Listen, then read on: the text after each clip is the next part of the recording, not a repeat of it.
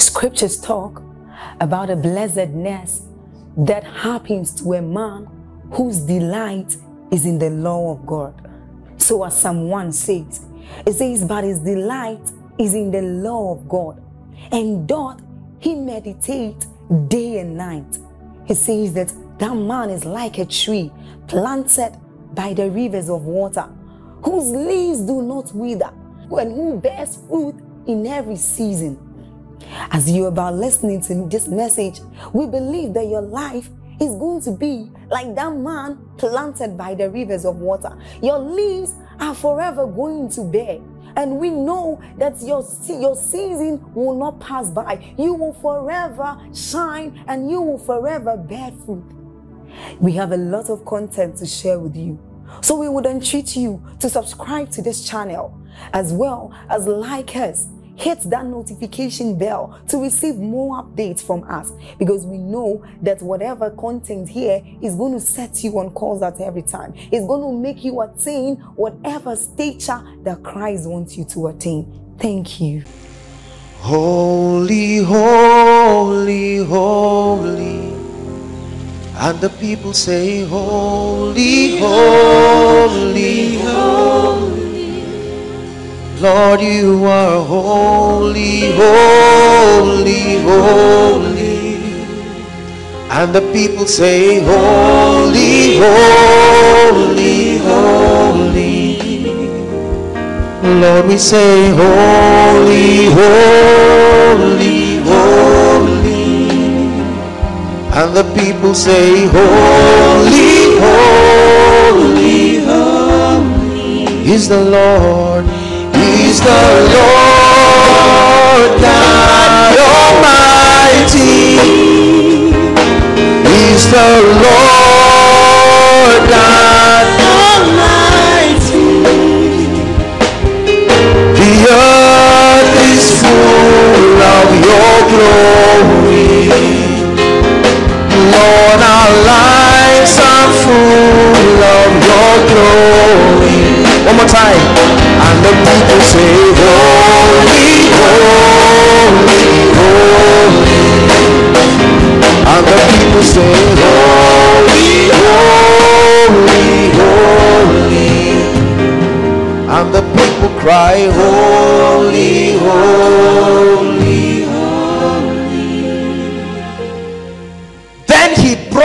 Out of the way of the gate northwards and led me about the way without unto the utter gate that looked eastward. And behold there ran out waters on the right side. Verse 3 and when the man that had a line in his hands went forth eastward he measured a thousand cubits and he brought me through the waters. And he says the waters were to my ankles. Verse 4 he says again after a season of proving after a season of dealing he saw a need to step up the grace. And he said and again he measured a thousand and brought me through the waters. He says and the waters were to my knees. Verse 4 again. We're not done verse 4 please help us Again, he measured a thousand cubits and he brought me through, and the waters were to my loins. Verse 5. Afterwards, he measured a thousand and he said it was a river that I could not pass over. He says, For the waters were risen, waters to swim in, a river that could not be passed over. Let's read verse 9. Verse 9. He says, and it shall come to pass. Listen, the implication of the encounter with that river. He says, it shall come to pass that everything that liveth, which moveth, whithersoever the river shall come, he says, shall live.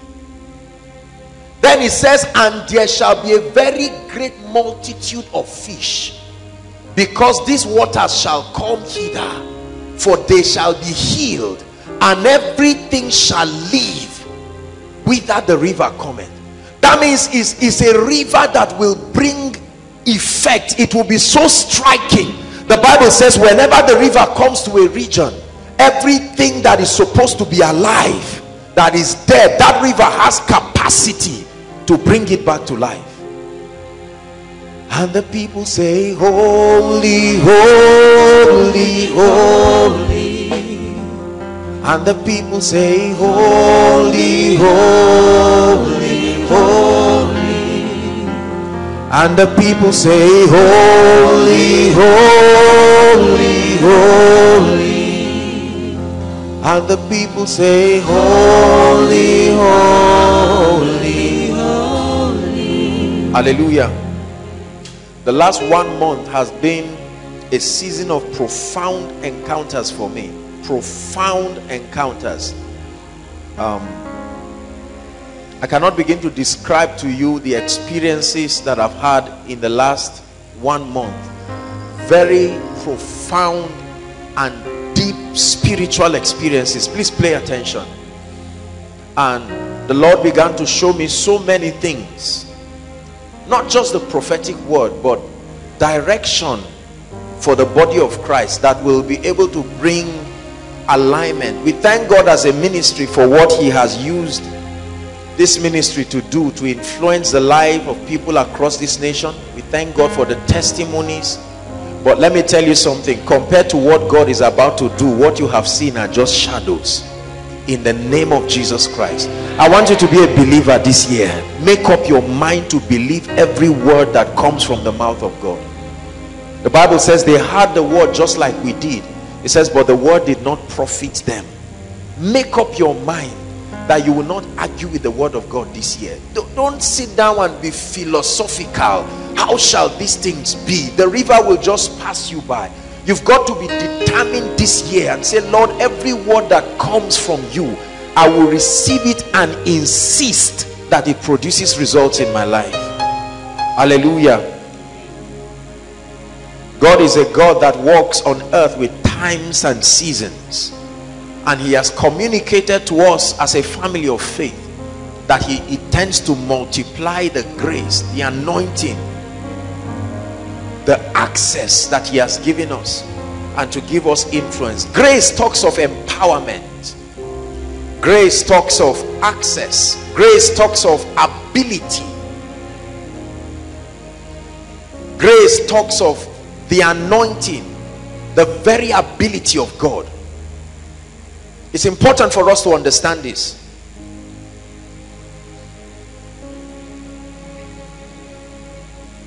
The grace of God talks of his capacity, his anointing, his ability. That force that compels results. Scripture lets us know that grace can be multiplied that grace is in measures listen please the bible says grace and peace be multiplied unto you. Grace and peace be multiplied. That means a man can grow in grace. A ministry can grow in grace. Prophetically revealing to us in ezekiel 47 that he started with the river at the level of the ankle then to the knees then to the loins and then it was a river that covered the prophet. And he says that river flowed to regions and every territory that river entered it began to cause changes. It caused that which was dead to come alive. I want you to know that grace can be multiplied. Every level you have seen in God is only a shadow of the possibility that is in God. Are we together? Every level of grace you have seen. If you think you saw the power of God in 2015 watch what God does this year if you think you saw miracles signs and wonders if you think you saw the dispensing of the word of God watch what he does this year. Grace can multiply. Grace can multiply. And let me tell you something. When grace multiplies it has a physical effect. There is an evidence. There's no such thing as grace multiplying and you are the only one who knows. No. When grace multiplies everything around you responds to the effect of that multiplication grace can multiply. Grace can multiply. That's why you can see a man and track his life and know that grace has multiplied. You can see a man of God and see the dispensing of the grace of God upon his life and you can study the track record of that growth. You can know that a man started at this level but at this current level he's functioning at an altitude in the spirit that was not what he just like you can know that a man has backslidden you can know that a man was functioning at this dimension of grace but right now he is still functioning but you know that there has been a lag in the operation of the spirit. Grace and peace be multiplied. The energy of god the ability of the spirit the power of the holy ghost that can be resident within a man compelling results. He said it can multiply. Everything that is alive grows. If the power of god is alive it can grow in a man. Hallelujah. The healing anointing can multiply. The wisdom of god can multiply. The grace for finances can multiply. Access to deep realities in the spirit can multiply. The eyes to see and the ears to hear can multiply. And this is the season God intends to multiply everything. Every operation of the spirit you have seen. Hallelujah.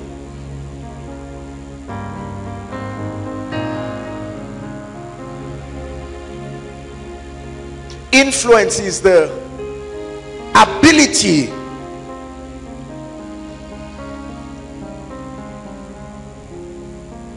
the ability to compel the ideology of a man the ideology of a people the ideology of a territory the ability to compel the ideology of a territory to bend towards a particular direction without using human force and cruelty. Is called influence. If i'm able to do something to you that compels you to adjust to my paradigm of thinking that's an influence. I like the the the the um, the um, poster that was created by the media department. You see that match the, the matches? One having the fire and all he needs to do is go close enough he will compel all the rest to catch that fire. We call that influence. The ability to cause men to buy into your ideologies to institutionalize your ideology such that even those who do not agree with you will be compelled to walk in that reality. This is what influence is the bible says it was noised abroad that jesus was in town. And all kinds of people found themselves around. Those who didn't like him those who were critics those who were indifferent those who were passionately loyal.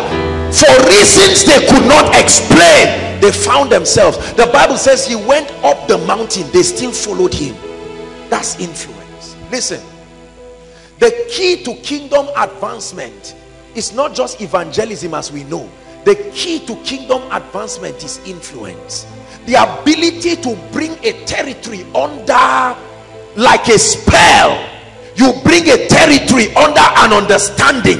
You compel people to think in a certain way. You compel the economy of a territory to operate in a certain trajectory. It's called influence.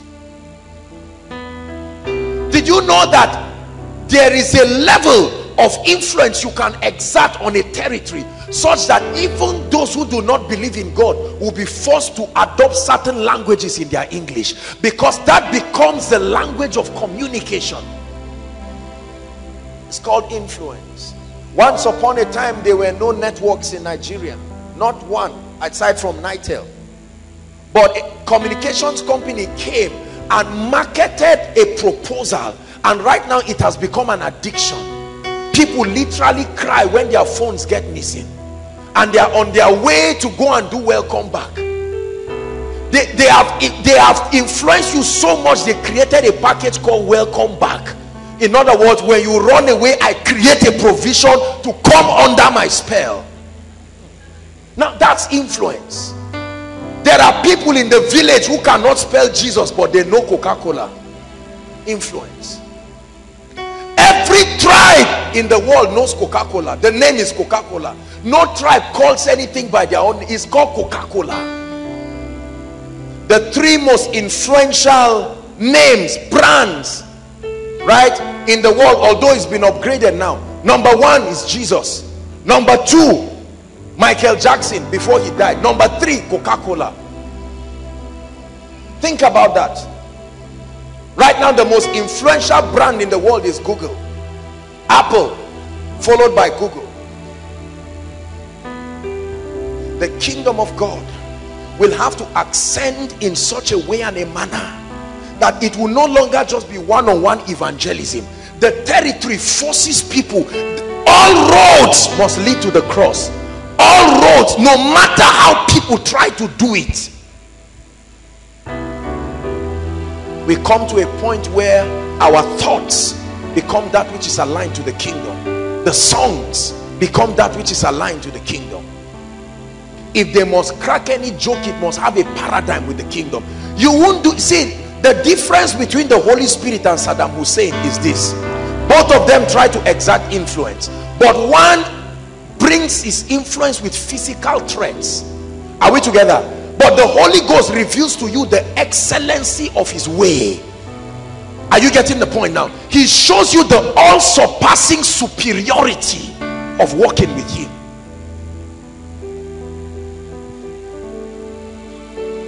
There is a level. Give us micah chapter 4 please. 1 and 2 and then i begin to explain to us very quickly the things that the lord has put in my heart. Micah chapter 4 1 and 2 it's a scripture that speaks powerfully about the prophetic state of the church. Can we read it together? One to read.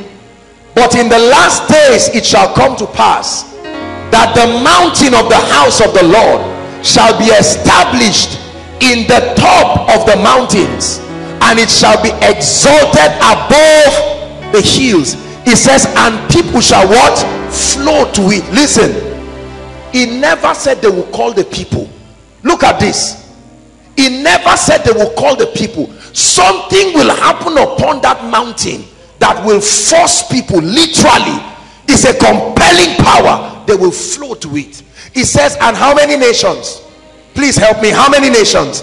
It says and many nations shall come and say come let us go where will the evangelism happen? Among themselves.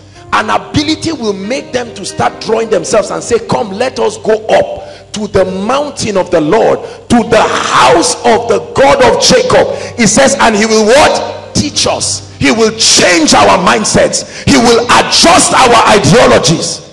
He says, and we will walk in his paths.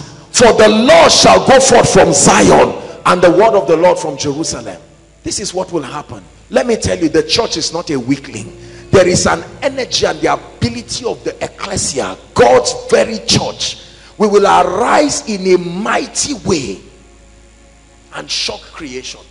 The key is not to take the world. I see a lot of people dreaming and say i'm going to take every world. I tell them that's not how. When god says you will take over the earth the key is to create a prototype of your agenda in a territory. That's the key. The kingdom always spreads like a seed there are people who have not done well where god where they are domiciled and they are thinking of no no no no. The key is to plant a prototype of your ideology. And that becomes the platform the template from which you will influence other territories. You must. Jesus christ came to israel jerusalem created a prototype of his life and then compelled certain people called the sent ones and began to send them through regions. So everywhere they went they were envoys of those ideologies backed up by the government that sent them. This is the key to strategic kingdom advancement. Let me tell you something. It's not just by traveling planting a church in london uk there's a time and a place for that but the greatest key to maximum influence is to be able to represent the ideology of, a, of the Christ so strategically in a region that every other region can look at it as a template. That's how hillsong spread abroad. They stood in australia and did something so striking.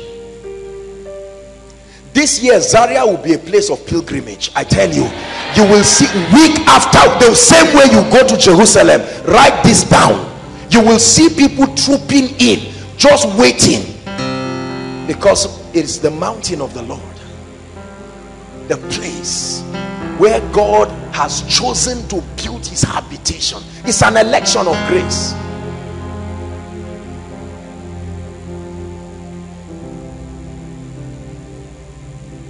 Are we together?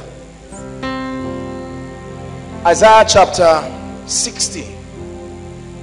Let's start from verse 1, but my focus is 3. Isaiah 60.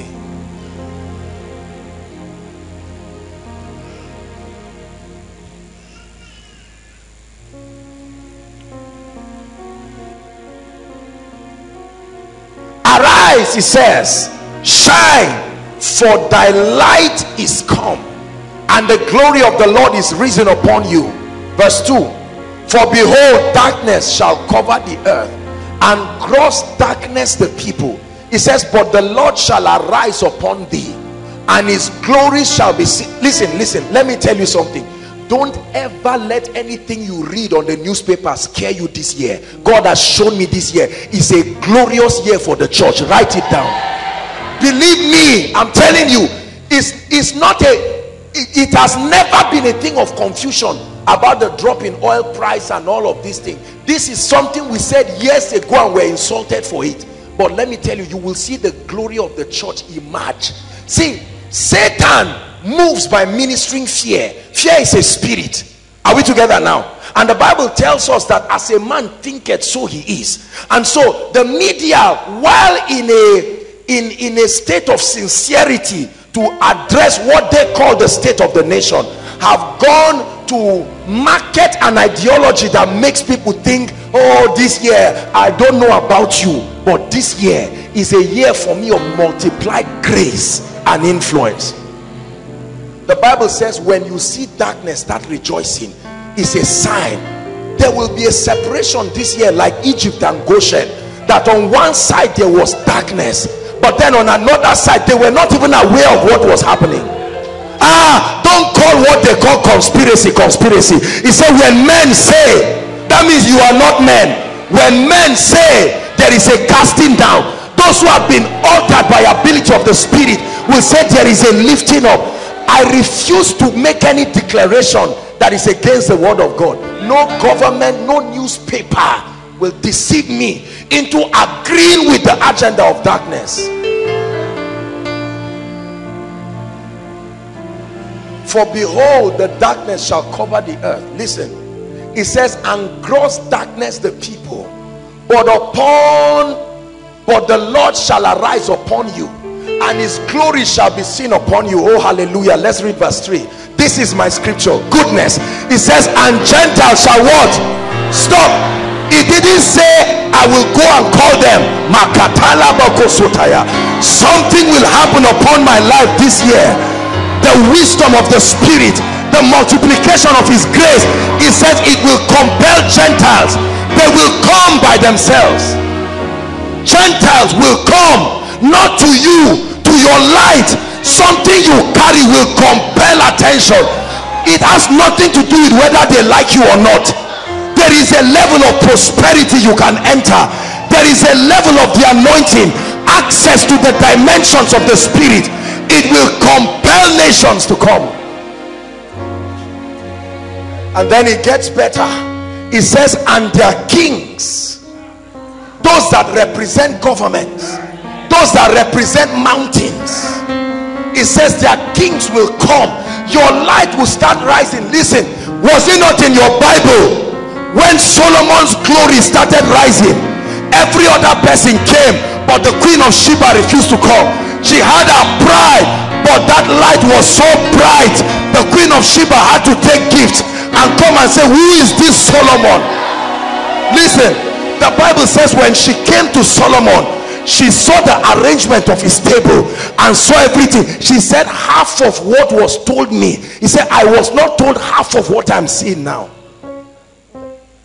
he said when she saw everything there was no spirit in her. It's god's ability. God's ability is working in me. Is working in me. It's God's ability. God's ability is working in me it's God's ability it is God's ability working in me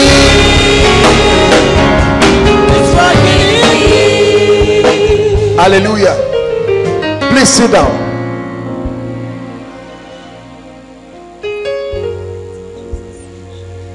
Mm, we are believers in this place. We are believers in this place. Listen, this is the year you must take God seriously.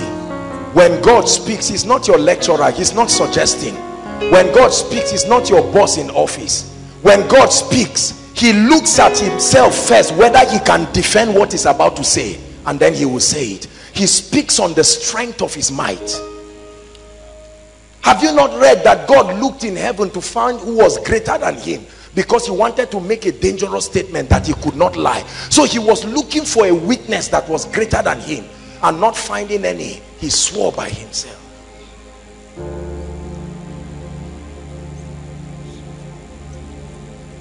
What is our expectation in this season?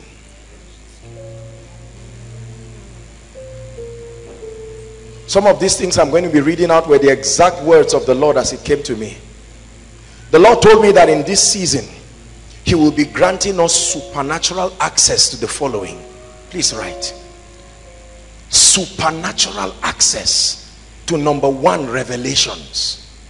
There will be a depth of revelation we will break into a spiritual fountain of revelation hallelujah and this is the scripture of the lord in fact it, it was before the scripture came it was an impression upon my heart. And the bible tells us remember in scripture listen please remember in scripture when the bible says two men at a place called emmaus they were walking and jesus was with them but they did not know he was the one.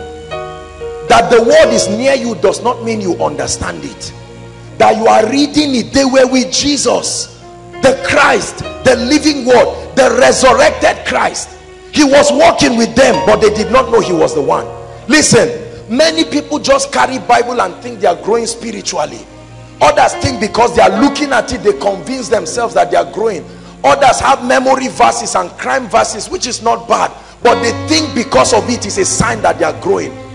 And the bible says when they were at table he broke the bread and their eyes were open. Listen this is the year god will give us access to light.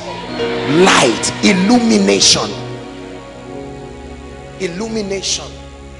He says you will arise and shine for your light is come. Not because you are tired of sitting down. There is a light that God will give you that will drive out certain darkness in your life forever. Forever. He will give us access to anointings there are graces there are abilities of the spirit. Brothers and sisters please hear me. There is nobody who is doing great things for God who does it by the strength of the flesh. No. No. There is an anointing that is responsible for every result you see in the kingdom. There is an anointing. It's not about struggling. There is a grace. Your own labor is to enter that dimension. But once you are there you are there are we together? There is a level of grace that God wants to multiply in your life. Not just please personalize this thing. I'm taking out time to teach it because i want you to believe it. You must believe that in my life there is a level of grace. There is a level of the anointing. The anointing does not make the difference. The anointing is the difference. It doesn't make the difference. The anointing is the difference. A handkerchief with the anointing upon all of a sudden becomes supernatural. A donkey with an anointing upon it all of a sudden becomes a prophet. Oh come on. The anointing is. Never trivialize the anointing and the effect of it in your life. There are doors only certain kinds of graces can open. Are we together? We must believe God to multiply anointings in our lives. God will give us access to people. Very important. God will give us access to resources. God will give us access to opportunities. To the end that we will birth greater levels of salvation encounters transformation and revival. He will supply all these things to the end that will be able to birth through the spirit greater levels of salvation greater levels of encounters greater levels of transformation greater levels of revivals there's an army rising up. There's an army rising up in this very season. There's an army rising up. They will break every chain break every chain they will break every chain. Break every chain. Break every chain. Please write it down quickly. There are five areas that i want us to focus on this year. Please listen. Five areas very quickly. For us to maximize the prophetic word that the Lord has given there are five areas that the Lord would want us to focus and pay attention. Number one on our spiritual growth the first area of focus that you must contend in the spirit that there must be multiplication of grace is on your spiritual growth. Please listen. This year there will be multiplied grace for notable spiritual progress. Are, are you listening to me? That you can look by december and know that you you you you entered a dimension in the spirit. There must be notable spiritual growth in your life this year. Please make sure you write it down. God is releasing grace for notable spiritual growth.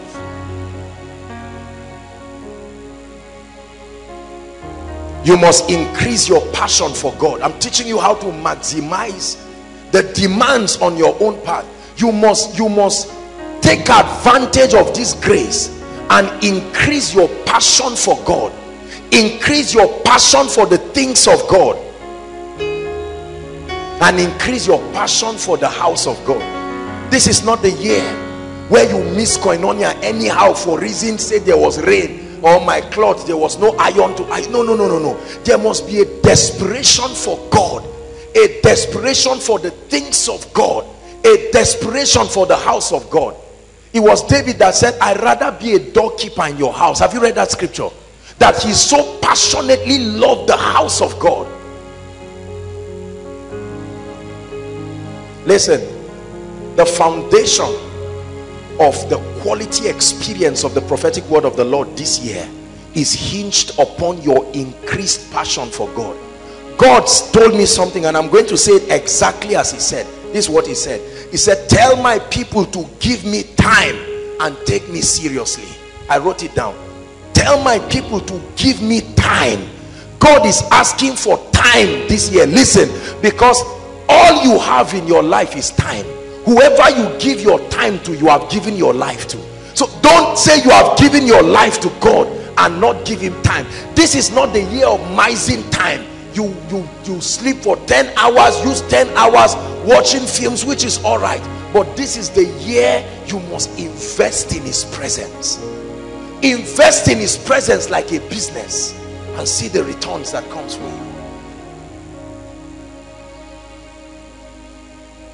increased passion for God. Your passion must increase for spiritual activities, prayer and fasting, the study of the word. This is not the year for laziness. Is God speaking to us? Your prayer life must jack back. If if if you know your prayer life is dying, please don't let anybody deceive you. There is trouble. Are we together?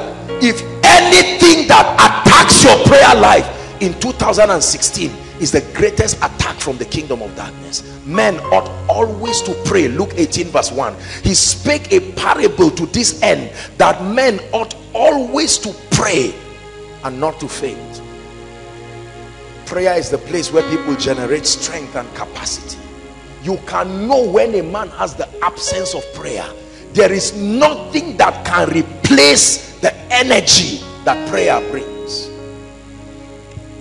Please give god time. Tell your neighbor give god time this year. Talk to him talk to him seriously. Give god time. It's a strong admonition. Say give god time in 2016 don't be busy looking for money running around looking for money looking for job. Thank god for those things. There is a place for them. But brothers and sisters i call you to a place where you will hit the jackpot for this year. Invest in his presence. The presence of god will give you what money will never give you. I know we used to nod when i said but many of us don't believe it. His presence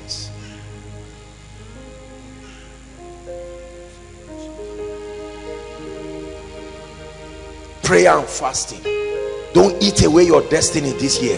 Prayer and fasting.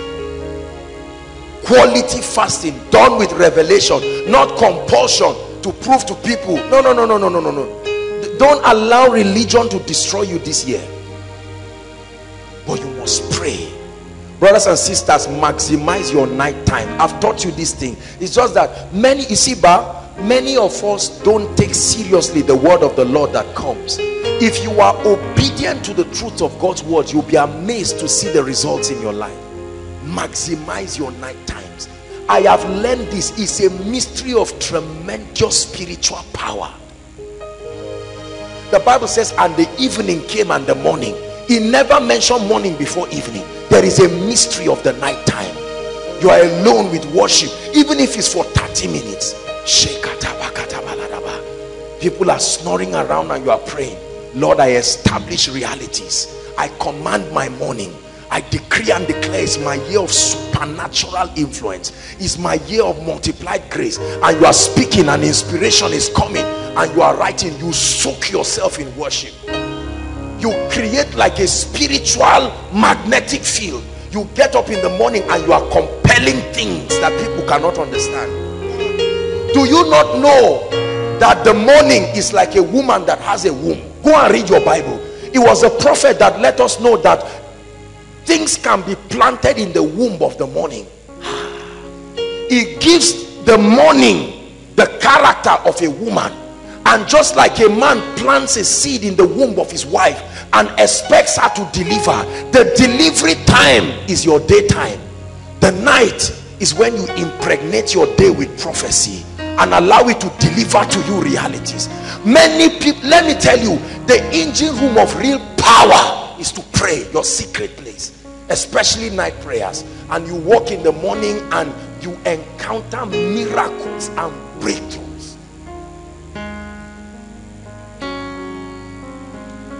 He told job hast thou commanded thy morning? Not hast thou commanded thy night.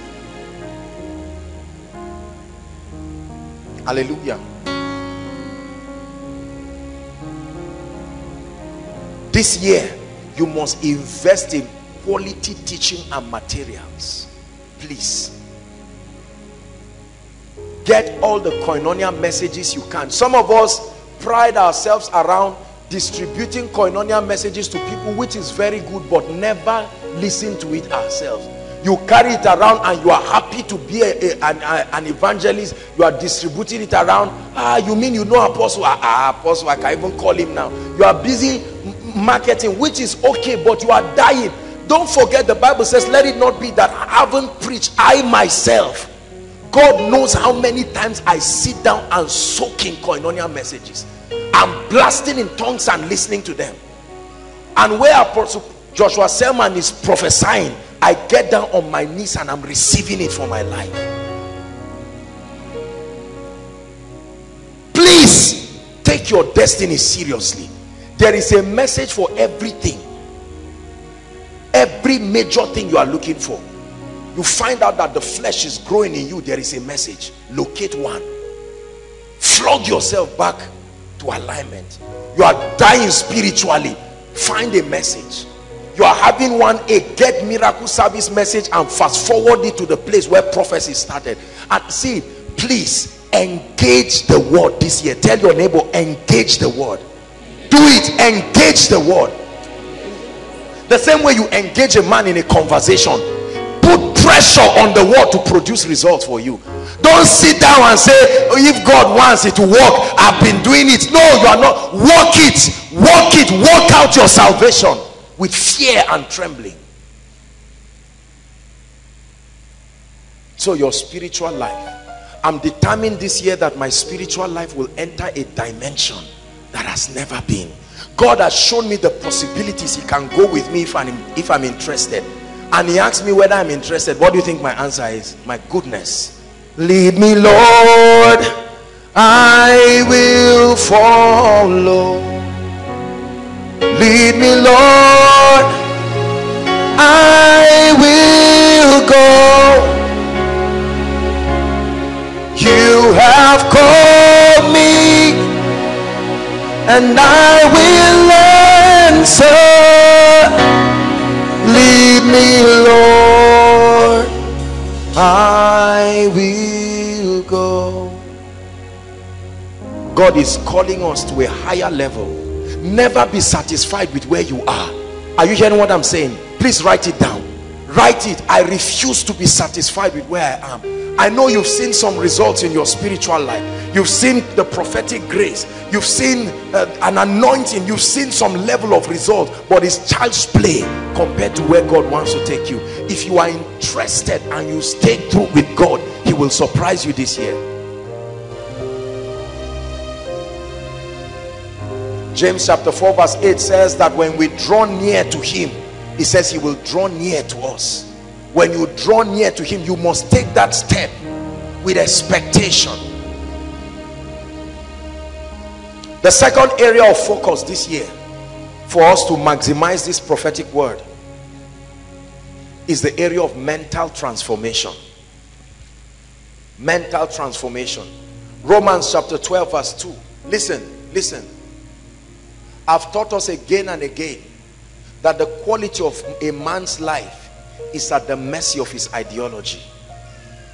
This year, I want us to insist that we are going to lay aside every stumbling block we've held on to that is stopping us. Please, those outside, I hope we are listening. Can you shout hallelujah, those outside? Praise the Lord. Make sure that you pay the price take advantage of the grace of God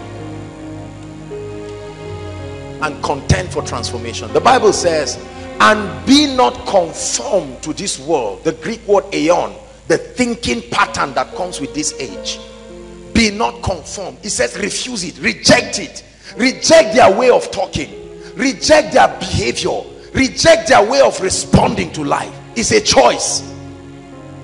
It says be not conformed to this world then he says but be ye transformed right?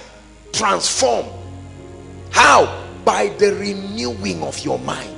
That's what the bible says. That we are transformed not by wishing by the renewing of our minds. Focus on sustaining a renewed and transformed mind. Focus. Don't say it's like that. Everybody in your family that poverty mindset must die a natural death this year. You must reject it. Let them hate you no problem. Reject it let people carry their failure and bring it upon you as an impartation. Don't let anybody tell you financial prosperity is not important. Don't let anybody tell you doing well in your life is not important.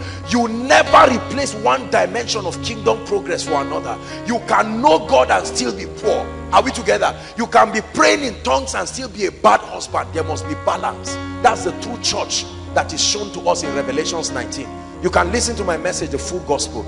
I've always frowned at the exaggeration of the body of christ emphasizing one truth to the detriment of another. So i'm teaching you on spiritual growth and forgetting the fact that you have children to feed. You have school fees to pay. No god is not that kind of god. There must be a balance. He said come and i will show you the lamb's wife. He said he showed me a city that was equal in length equal in breadth equal in depth no exaggeration. That's the true church.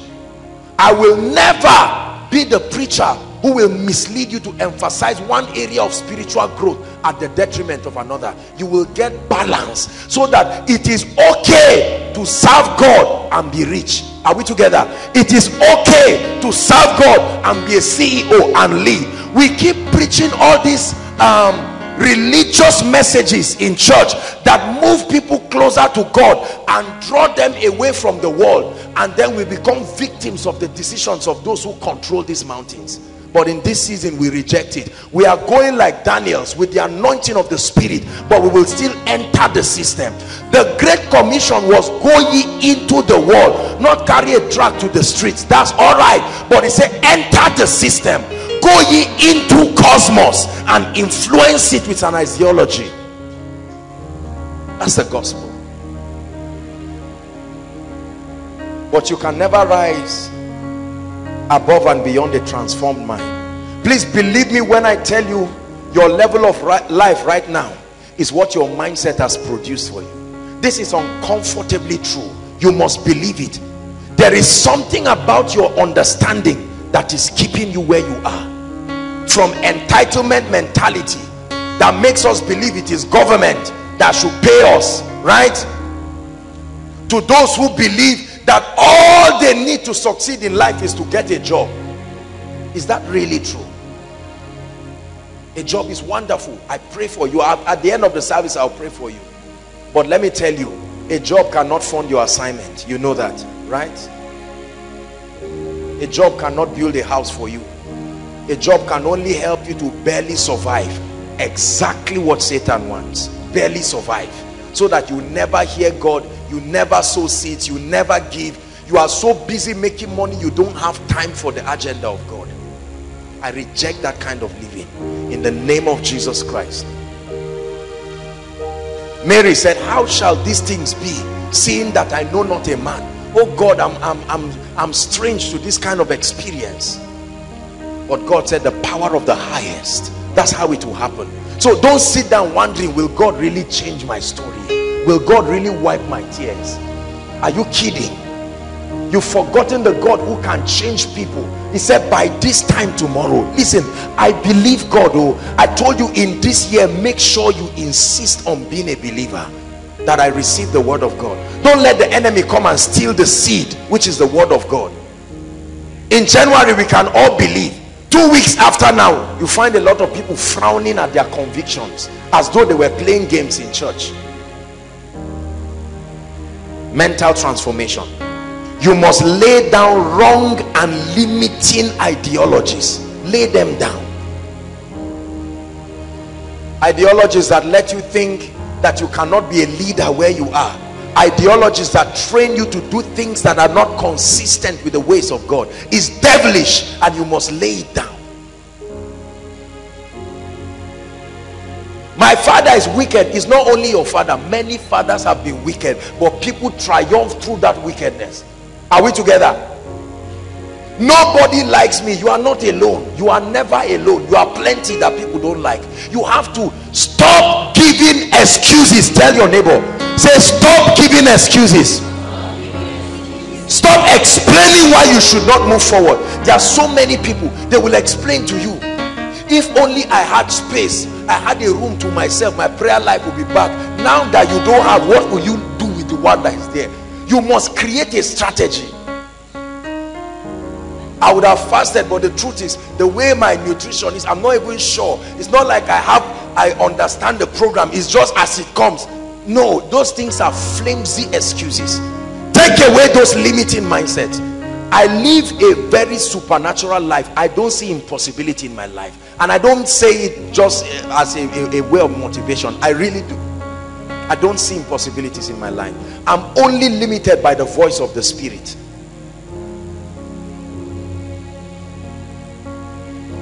the Bible said can two walk together except they be agreed? You and the Holy Spirit cannot work together if you don't agree with him. God is telling you this is what I open up before you. Are you willing? And you say Holy Spirit is just because you didn't grow up in my family. Uh, eh.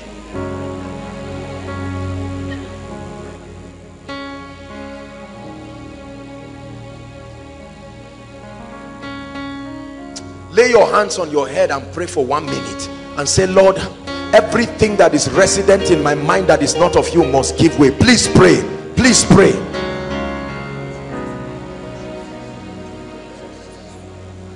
For as he thinketh in his heart so he is. Please pray. Pray out every limiting belief. Oh i believe god for anything. He can take me anywhere he can lift me from the dunghill. This i believe. He can crown me with honor and glory. This i believe. He can bring an anointing in my life.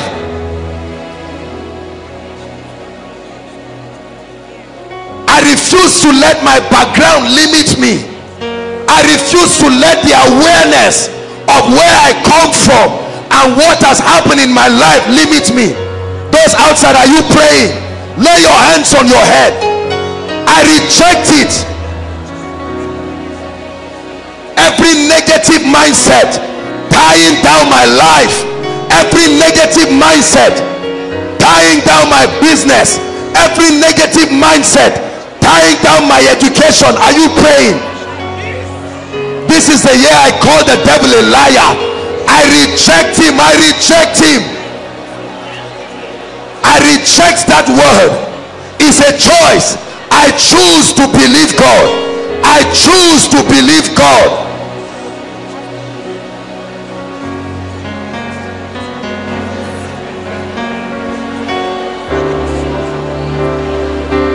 Hallelujah. Don't ever sit back and allow the devil destroy you. Listen. Everything you see did not just happen by mistake. It takes a man to see what others are not seeing to go where others will not go. This is the year. Don't let people talk you down and lie to you. It will take your faith. You must believe. Believe in God and commit yourself. Don't be afraid of making mistakes. Are you hearing what I'm saying don't be afraid of making mistakes. Don't live in this this carefree world where everybody say take it easy and they kill you. God is inspiring you to start up a business that can bail your family. And people are saying take it easy. You know the way Nigeria is fuel. Please let me tell you something. If you if you talk and live like them you will die like them. Are we together somebody looks at you as a student and says you're on 1.5 are you aware of that? Yet every time you sleep you see God doing great things in your life. How shall these things be? This is the year to believe. And one way to believe is to run away from all those naysayers. There are people who are negative by default. They are your enemies this year. Make sure you run away from them intentionally you said, why are you running away from us? It's like you are running. It's not like i am running. I'm leaving you. I intend to grow. Listen. Listen. All this loyalty to people who will destroy your life. We were childhood friends. So what? I intend to grow. Any man that is not seeing what i'm seeing should not be working with me. Are we together? Come. Let me use you for you say okay you're, you're a cameraman. Come. Watch this turn all right move forward. Let's all move forward. Go go go. Forward. Look at this. His forward is not my forward. Are we together? We are all attempting to move forward. It just so happens that for some reason he's unwilling to bend to my direction. I'm not your enemy. I'm just not going where you are going. I'm not saying where you are going is wrong. I'm just saying it's not my address. Are we together? Please this is the year you must sustain courage to look at people and say no I, am not a musician. I'm not against your music ministry but god didn't call me to sing. Please don't force me to do rehearsal when i'm sleeping. I'm a businessman. I love your music. May god anoint you. I will encourage you. When i make the money i will support your album. But for now let me focus. Listen listen. I know we are laughing. You think i'm playing. This came out of the secret place. Days of fasting with full concentration not laughing around. It's amazing how many people never make it because of distraction. You're on your way going to do something. You are there singing and god is saying I, I already prepared people. See when you are not in your assigned place you will always feel secondary. You will fight everybody there and not find a space for yourself you now get up and say i'm into logistics. You want to be like aaron it's not working. Later you say i think i like her. Look settle down this year. Re-edit your mind and find where God has placed you and die there tell yourself if it's to die I will die there stop escorting men visionlessly even as a pastor this is the year to know exactly what God told you. Your assignment is not the great commission are we together? The great commission is for everybody. Settle and find what is the grace what anointing. God what did you tell me? Oh, oh, oh, oh Sing it unto the Lord. Oh, oh,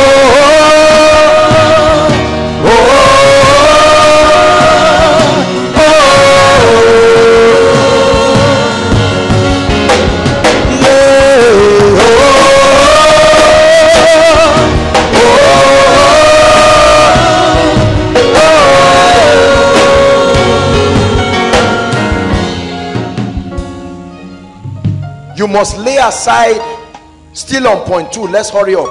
Lay aside wrong behavioral traits. We're still on that point two mental transformation. First peter 2 verse 1 please give it to us quickly.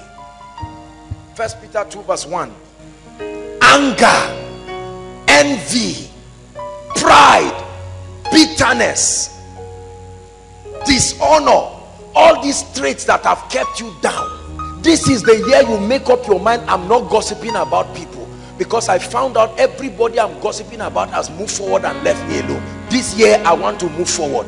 At least let somebody talk about me. The Bible says, Wherefore, doing what? Laying aside, laying aside all malice and guile and hypocrisies and envies and what? Evil speaking there are some people when you sit down close to them five minutes your spirit is down. Because they, they have what we call evil speakings. Always bad news. Always what someone said. No you must change. You must change. Anger. You must lay it aside this year.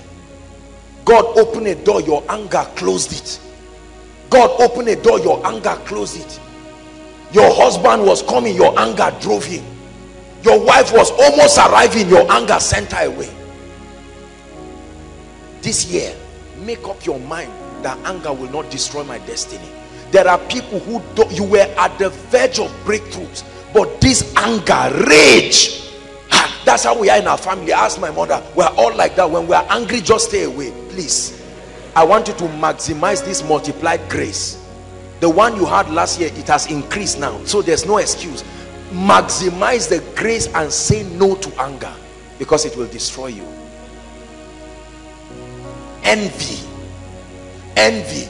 You never do anything with your life. You watch people have results and you are looking for what they do. Let me tell you something about envy.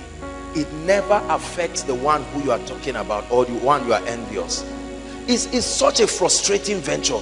It doesn't touch the even if it at least let it touch it it's better to fight directly fighting you sit down and tie yourself down. And then the unfortunate thing is the bible says the path of the just is as a shining light. So for how long will you hold it? Envy pride.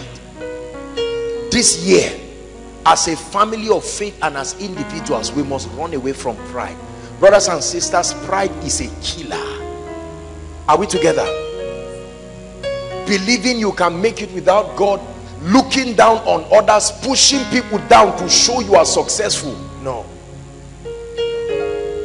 Lay it down. Bitterness. There are people who just say i'm not happy. Why? I say this world is a sad world. Hey you have a long journey a long journey to go say i'm just sad why is everywhere like this the place is moody and the devil says this is exactly what i'm looking for this year I choose to be joyful. The Bible says rejoice always. It didn't say rejoice when you have money. Rejoice always. And in case you forget, again I say rejoice.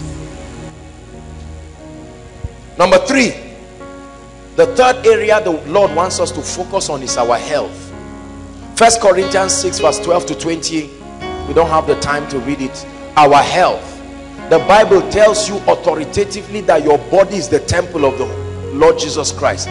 Right? Everyone say it. Say my body is the temple of the Holy Spirit. Say one more time. My body is the temple of the Holy Spirit. Listen. It honors God for you to take care of your body. Are we together this year the way you punished your body in 2015 you have to rethink this year. Are we together? It's very important. You must live a healthy and a balanced life. No laziness and no overstressing yourself. That's the balance. There are those who are sluggish and lazy. Spiritually it flows down intellectually now culminates physically. Inertia for everything. Takes you two days to do what five minutes can do. Laziness is still an insult to the body.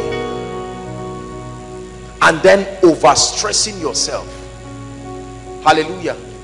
When you read about the Welsh revival you will know that what killed the pioneer of the Welsh revival was not necessarily any demonic attack. He literally stretched himself to death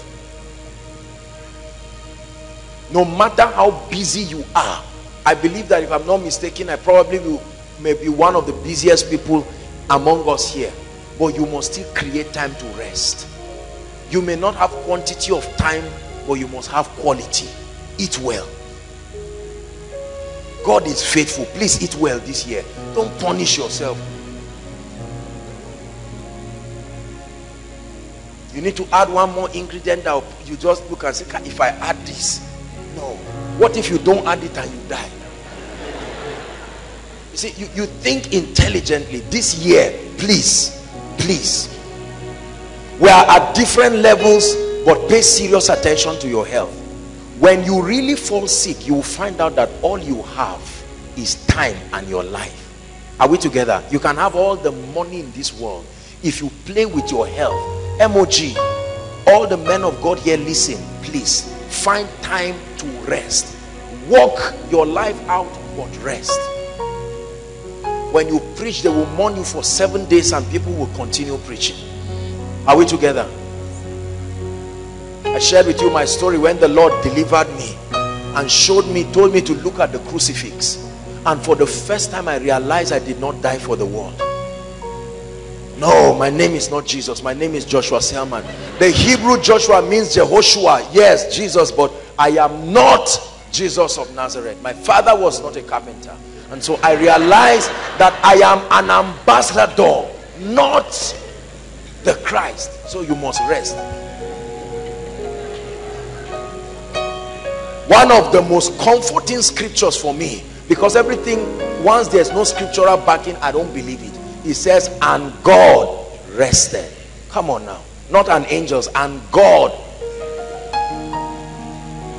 Whether you call it sleeping or ceasing from work i know that at that period he didn't do anything do it he said let this mind be in you which was also in christ jesus it's not just the mind to walk it's the mind to rest how many people go to hospitals today and doctors tell them honestly there's nothing wrong? They say look i know what i'm the one feeling what is wrong. They say there's nothing. We've checked.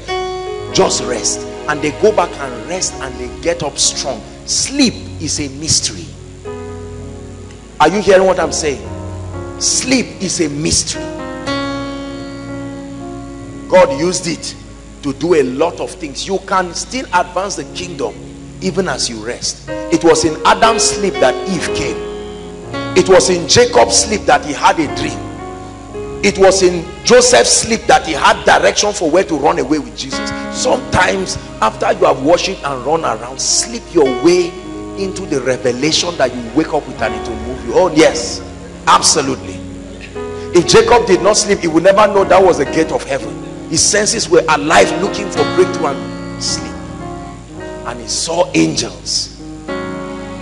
If sleep will give me an encounter i will sleep. Because i need it. I need serious encounters this year. If you don't see it when you are awake why don't you sleep? Eat well rest well. Your personal hygiene. That's all right. Your personal hygiene. I won't talk much there. I'm not a medical practitioner, but I'm one who intends to live long. Listen. Listen. Take care of yourself and your personal hygiene. Please don't say it does not matter. Do not let the financial situation in your pocket reflect in your life and your body. You live anyhow. You wear clothes smelling sweat all around. You don't care. You just smell it and say, is it too bad? Your neighbor smells and no No. don't just laugh. I have to say it. I have the responsibility to say it. I've told us about that bathing you do with three-quarter bucket. Somebody as tall as me, you run and enter, and while you are talking, in less than one, your phone is ringing. Before it finishes ringing five or six times, you are out. My brother, you didn't bath. I, I assure you, you didn't bath. If that's what you have been doing, it must change your health. Food that has spoiled. You are there eating, said, you are, I can still warm it. If it has spoiled, let it go. We are still going to have miracle services, but I'm saying we can minimize casualties for nothing. Hallelujah. Number four, number four, please write. Number four, the fourth area finances. God wants us to focus and experience multiplied grace. Deuteronomy chapter 29, verse 9. It's our year of multiplied grace and influence, and that even in the area of finances. Very quickly, Deuteronomy 29, verse 9. I'd like us to read everyone please one to read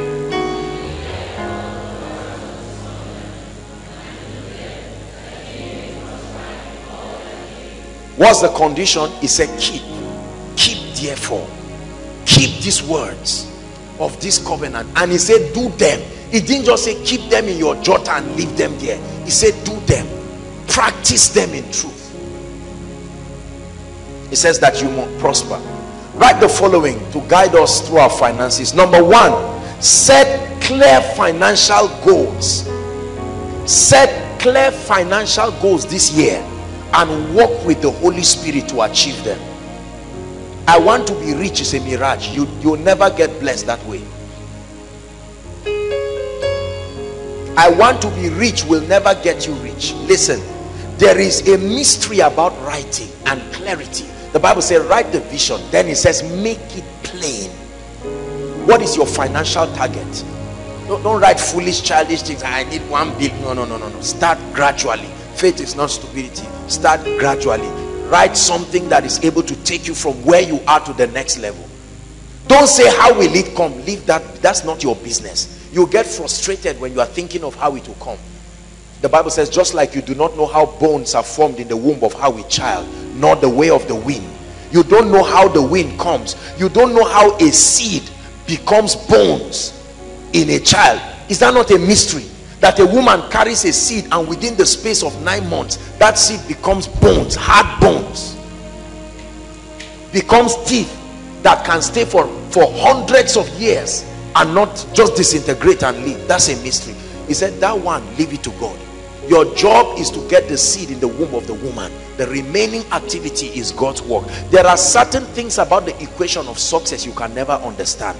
There is a mystery in it that is exclusive to the office of god trying to understand it will frustrate you brothers and sisters. Keep your own part and watch the miracle work out. Set clear financial goals. What is your financial goal for this year? As a ministry we have financial goals. In my personal life i have financial goals. You must set financial goals.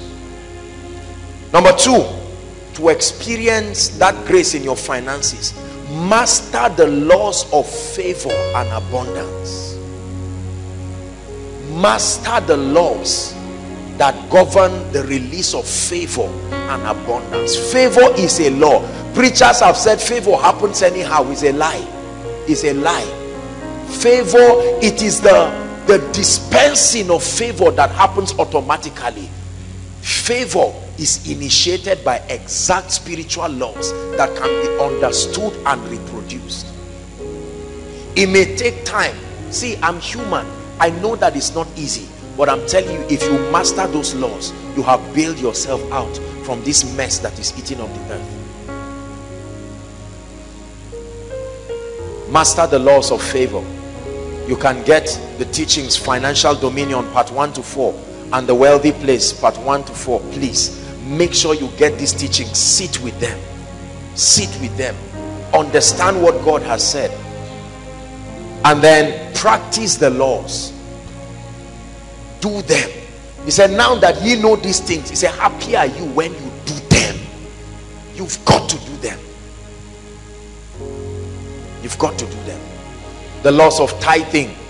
I want you to pay attention to four laws when it comes to giving this year your tithing please look up. Let me preach to you.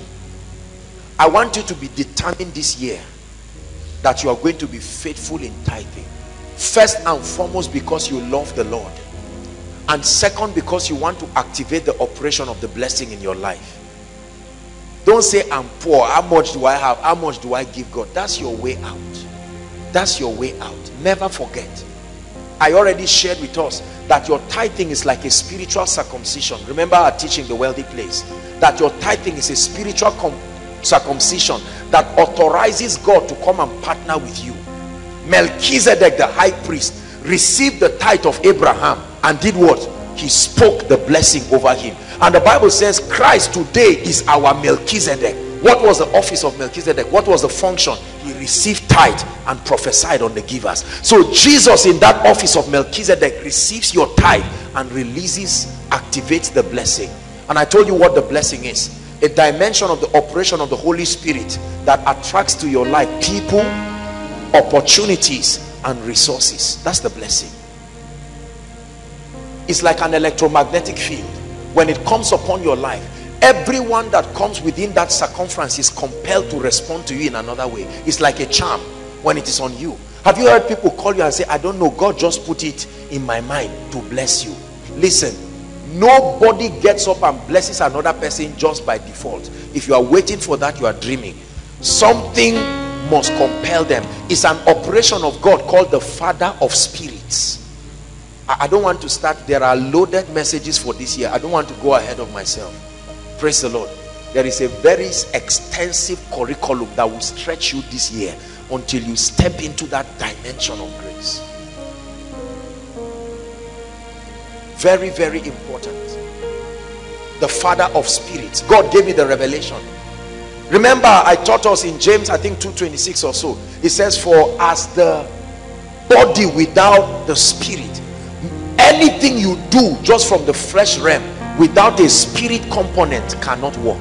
That business without the spirit will die.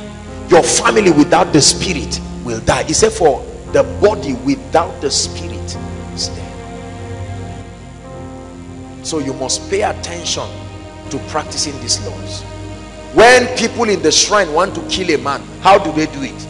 They leave the man snoring in his room and use some enchantments. Is that true? They invoke the spirit of that man. You see it in nigerian films right? And he appears. That man is sleeping. He's not even aware. They called forth his spirit and separated it from his body.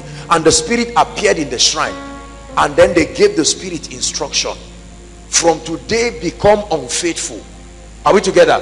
From today become poor. It's a programming upon his spirit. And then the spirit returns to the body and the helpless body gets up and becomes a slave to prophecy it was not aware of. That's the same way God operates. He's called the father of spirits. He can summon any spirit and give them instructions on your behalf. So men don't know why they are just thinking about you. And they say the Lord led me Benga. The Lord led me to show you 10,000 another person say 10,000 people say you are lucky. No you are not lucky. There is a spiritual climate responsible for that result. This year force yourself to get it. I must step into that climate that compels men I returned into the city I think two days ago.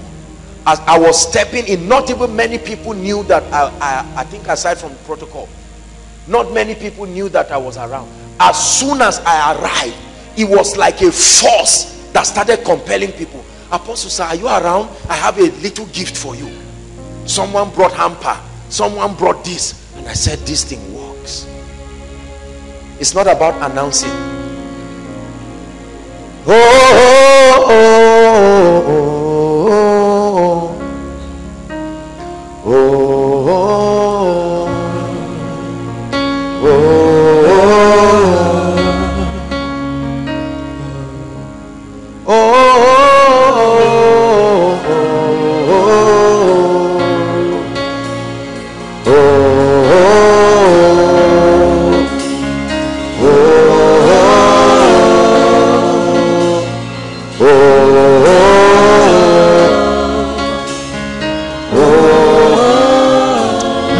hands on your head in one minute and prophesy and say, I'm breaking the back of poverty this year. Please pray. I sensed an anointing. That's why I was telling us to pray.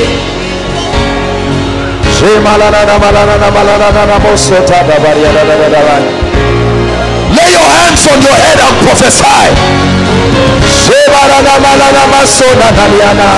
It's a year of multiplied grace. Multiplied grace. Influenced by the Spirit. Access to uncommon resources.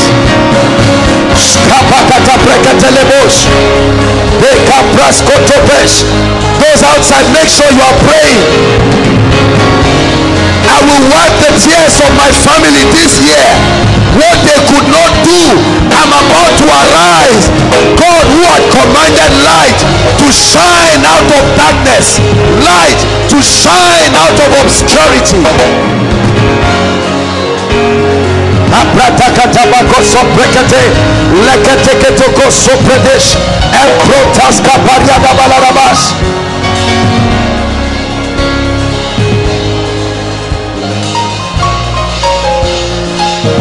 Hallelujah.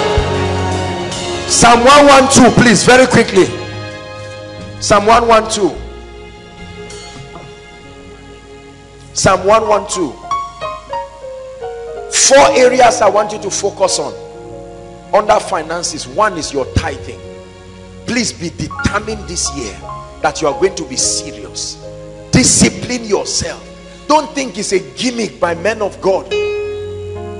Don't listen to those nonsense that newspapers carry around castigating men of God. Yes, I know that there are people who are driven whose God is their belly. But please, the mere existence of error does not mean you throw the baby and the bad water together. Don't stand. The Bible says, Blessed is the man who does not walk in the, the counsel of the wicked, nor stands in the way of sinners, nor sit in the seat of the scornful. He said, But his delight is in the law of the Lord. He said, Praise ye the Lord. Blessed is the man that fears the Lord, that delights greatly in his commands. Verse 2. Let's hurry up, media, help us. His seed shall be mighty. That's influence upon the earth. He says, The generation of the upright shall be blessed. Verse 3. I'd like you to read it and take it as a prophecy for your life. One to go. He says, Wealth and riches shall be in his house, and his righteousness endureth forever. Wealth and riches. Wealth and riches. Wealth and riches. Wealth and riches shall be in his house. Like the ark of God came upon the house of Obed Edom, and he began to prosper. Within three months, Obed Edom's life changed just because the ark came upon his house. Your worship offerings don't come to the house of God empty handed. See, let me tell you, let me tell you why many of us seem to be stranded in terms of having an offering to give or a worship offering because you are not a sower. The Bible says God gives seed to the sower. If you say, Oh God, please i don't want to come to your house just like that believe me god gives seed to the sower. But you think when you hold that money you are coming to give a man of god to enrich the man? No. I've told you any man that truly fears god does not live off the resources of his members. He lives off his obedience to kingdom principles. It's a terrible thing to depend on your members to bless you. You are tied to their mood swings. The day they are ready to bless you. No. let me trust God for myself and believe in him as Jehovah Jireh. Your seats of honor. I've shown you the mystery of sowing upwards. Look at me. When you sow downwards you walk in divine health. Are you hearing what I'm saying? You don't sow downward to step into prosperity. You sow downwards to create a track record that will speak for you in the day of obscurity but when you want to step into a level you sow upwards you must learn this. Don't sow carelessly. Don't just look around. You are not a herbalist say go and see beggars on the street and give five beggars money and your life will change. Please we are not practicing shamanism. This is christianity. Are we together? You must learn god's principles. Seeds of honor. Find people that carry graces and levels that you desire. Sowing we call it sowing into an anointing you are sowing into an anointing and it authorizes you to step into that possibility. Learn this. Learn this. Learn to sow into anointings that will lift you into that level. You must practice this consistently this year. And finally kingdom building. I call it kingdom investment Bishop Oyedepo used to shout this and say it with all his heart. Kenneth Copeland would shout this again. Listen, I'm telling you, when you commit yourself to kingdom projects, it will amaze you how God will step into your life. How God will step into your life. Kingdom building is to find a need in the house of God and participate actively in meeting that need. I want to encourage you this year that you must commit yourself. Find needs in the body of Christ. workers, your departments. Someone can sit down and say, ah, Koinonia needs a wall clock. Three of us, let's come together and buy for the house. Not Joshua Selman. And you commit and God is watching you. And you authorize increase in your life the bible says there is he that scattereth and yet increaseth. He said there is he that withholdeth more than is meet i want to ask you a question. Did the body of christ benefit from your resources last year? That eh, that may explain why you are where you are financially. May god never give me any money that his house will not benefit in. I say it again. May it never come to me. Any money that comes into my life that the house of God cannot benefit in is a cost to me. I'm sharing with you very deep secrets that can open your heavens. There are times that people bring seeds, all kinds of seeds, and while I'm excited, God says, uh-uh, this seed is for the house of God. Quietly, with Jesus' joy, not grudgingly saying, God said, you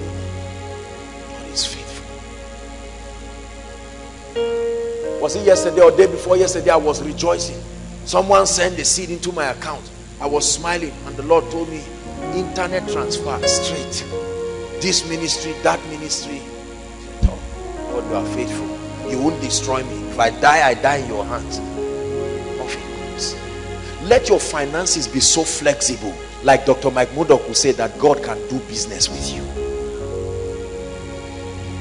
I was discussing with a prof last year, one, one of our daddies in area A, and he spoke to me. He said, son, tell the Lord you want to be his treasurer. Ah, that's, that statement resonated in my head. That man sat me down and started discussing with me his walk with God from childhood and how God had been faithful in his life and in his old age. He said, ask the Lord that he should make you his treasurer. Do you know what it means for God to make you his treasurer? Oh, God, make me your treasurer in 2016. Can God trust you with heaven's resources? Do you have the flexibility to release it when he makes demands? It's my own. It's my money. I worked for it. It's my sweat. No.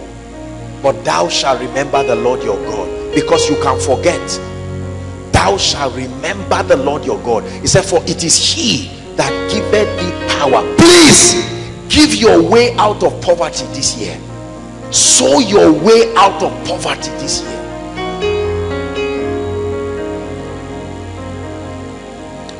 Number five, this is the last one, and we'll pray. Relationships. I want you to pay attention to this, especially those outside. Please pay very close attention to what I'm saying. I want you to invest this year.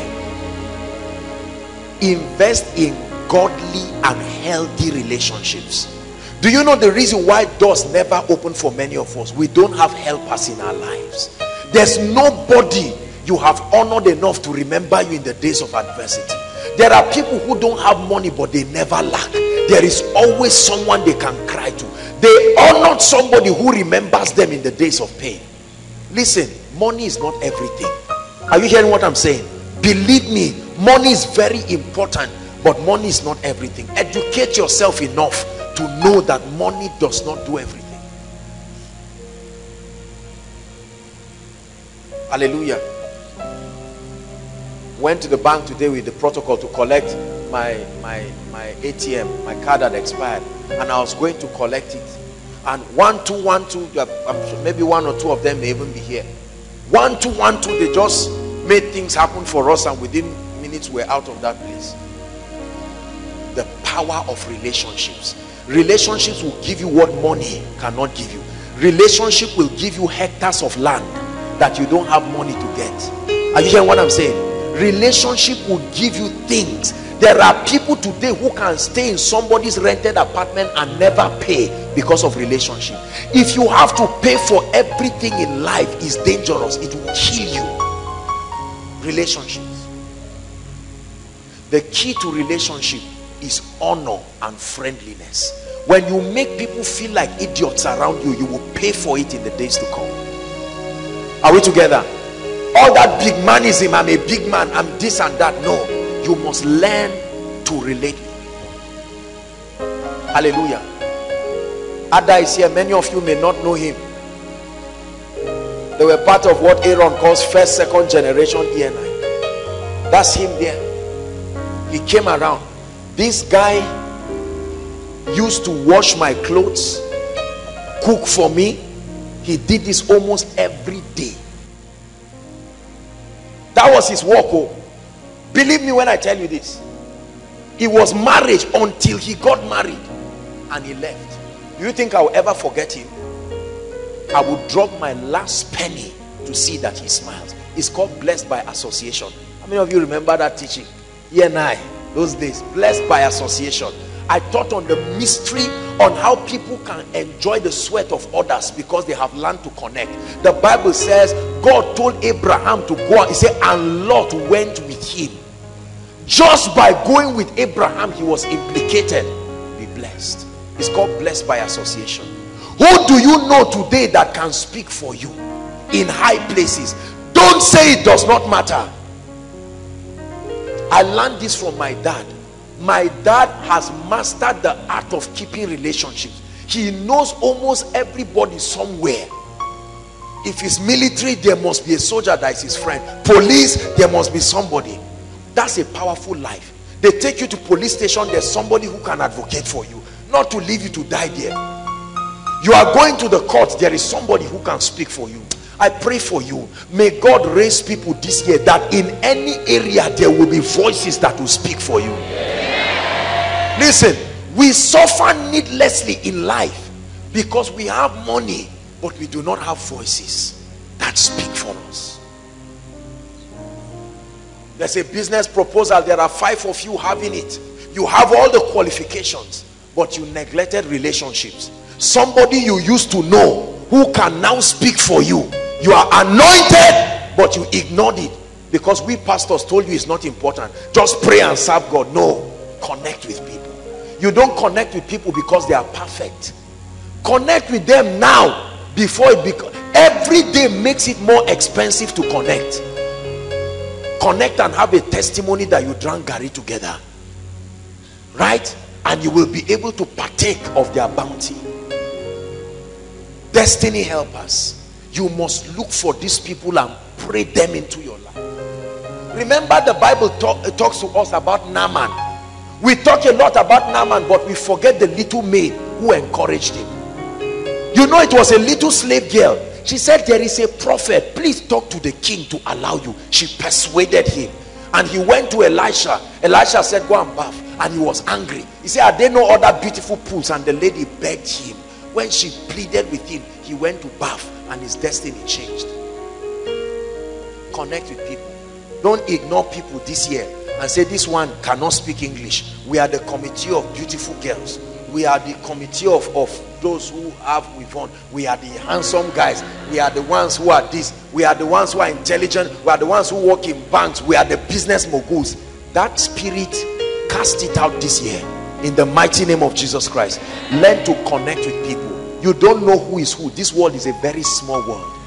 Very very small world i've gone to places and i've been amazed at people who i used to know and how they have been of tremendous help.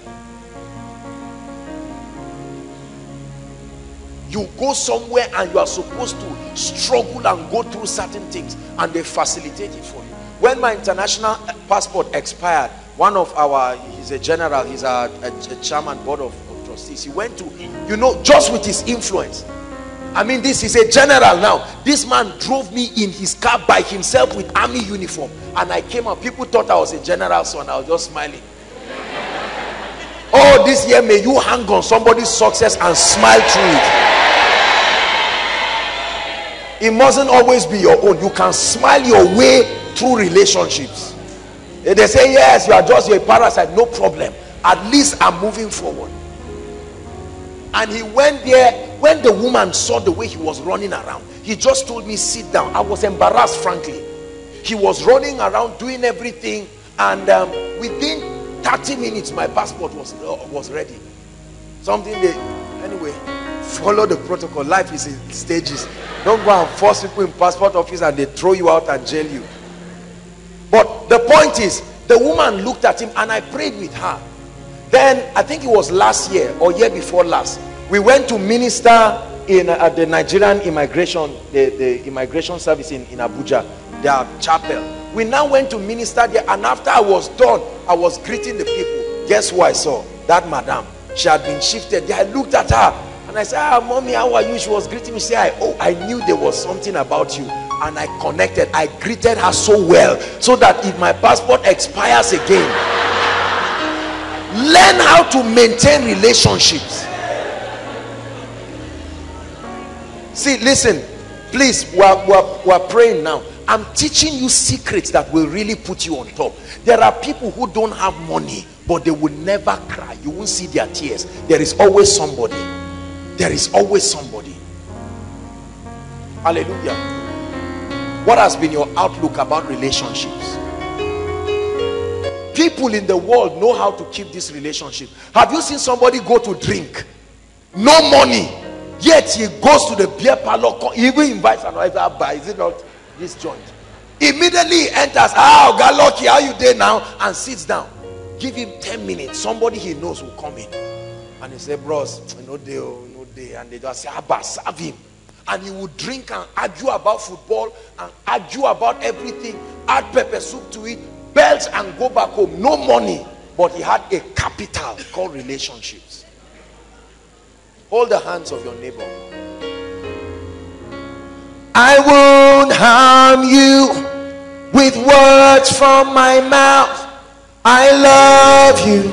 I need you to say it again one more time. I won't harm you with words from my mouth. I love you. I need you to survive. May your life never be such that you will go in the midst of people who you used to know, but there is nobody to help you. May that never be your testimony in Jesus' name. Please invest in healthy relationships. I'm telling you this. Invest in people are the conduits for miracles. Somebody knows somebody who knows somebody who can wipe your tears. It's amazing to see how close to are, how close you are to your miracle if you can just know who leads you there. Learn how to walk and live with people. That's the second point under relationships. Hold on, Mike. Just pause. I want everybody to listen to what I want to say. Learn how to live and walk with people. The Bible says, He who wants friends must first show himself friendly. Please, you must learn how to live with people. Many of us are Christians, but we don't know how to live with people. Let me tell you what we want. A friend is not somebody who is you. Are you hearing what I'm saying? A friend may be somebody who has similar ideologies, but it cannot be you. There are many of us, the only person who can relate with you is another you. Unfortunately, it doesn't exist. That you are a friend to people does not mean that they don't make mistakes. It doesn't mean they are perfect in themselves. There are many of us, the lifespan of our friendship is three days. You must fight with somebody. And it's not necessarily an issue of demonic attack. It's just wisdom.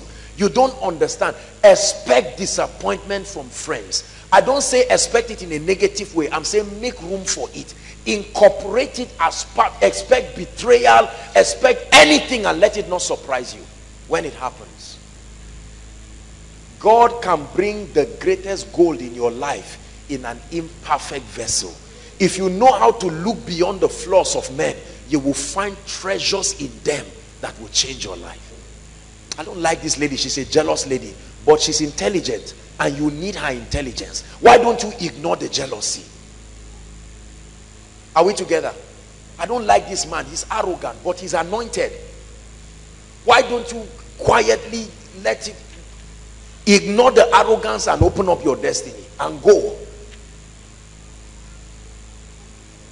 I don't like this woman. She's too pompous, but she has access to those you need.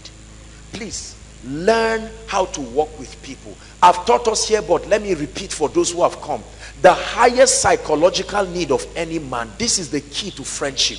The Lord taught me this. The highest psychological need of any man alive is the need to feel loved, to feel valued, and to feel appreciated. Never forget this. Leaders, incorporate this as you work with people. Pastors, incorporate this. The extent to which comes Sam, the extent to which I make Sam feel loved and valued is the extent to which we become friends. Are we together? That does not mean I cannot rebuke him. That does not mean I cannot talk to him. But that he knows fundamentally that even when I rebuke him, I love him truly from my heart. Thank you, Sam. Are we together? Learn to make people feel comfortable around you. Don't fight people for sustaining ideologies that are different from you. You are not a member of this church. So don't come near me. We are the group of this. No, we are not a member of this. Your belief is this. You are from which church? I don't believe in your pastor. Okay, believe in the person. relationships god taught me this. I have seen it in my life. There are few things i pay for in my life. I am telling you this and it's not because i'm a man of god. There are few things those who walk close to me know. There are few things i pay for in this life. There is always somebody somewhere and it's just a call away. Do you know how you can help people? Influence is all about connecting with people that gives you access to platforms. Platforms there are places i minister today i never i never would be able to minister but on the strength of healthy relationships. There are people god has brought into my life today who will die to see me do well. I mean die. They will give their lives literally to see me do well. Do you have such people in your life? If you don't have it you are poor.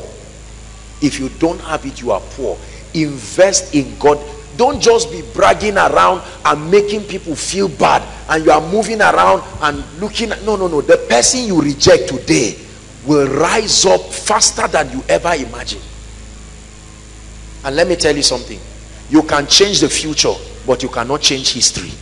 People have memories like elephants. You do something wrong after 10 years they will haunt you they don't know whether you have been born again in that 10 years or you've rededicated your life to christ. They just say and see this stupid girl i remember her inside is she not the one say she's the one? And you are coming you are born again you are even a pastor now or a pastor's wife. But carelessness of the past will haunt you. And you will have to start explaining yourself no i've changed. I know i was bad before. Use the opportunity now. Little things like fighting over seats to insulting people gossiping about people god is watching. Your destiny too is watching. You must make sure you are friends to people. Everywhere i go i try to make the people feel honored. I greet them.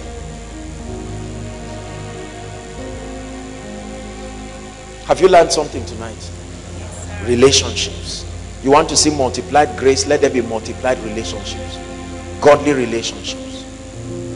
You have to honor people you get up in the morning you greet your roommates good morning.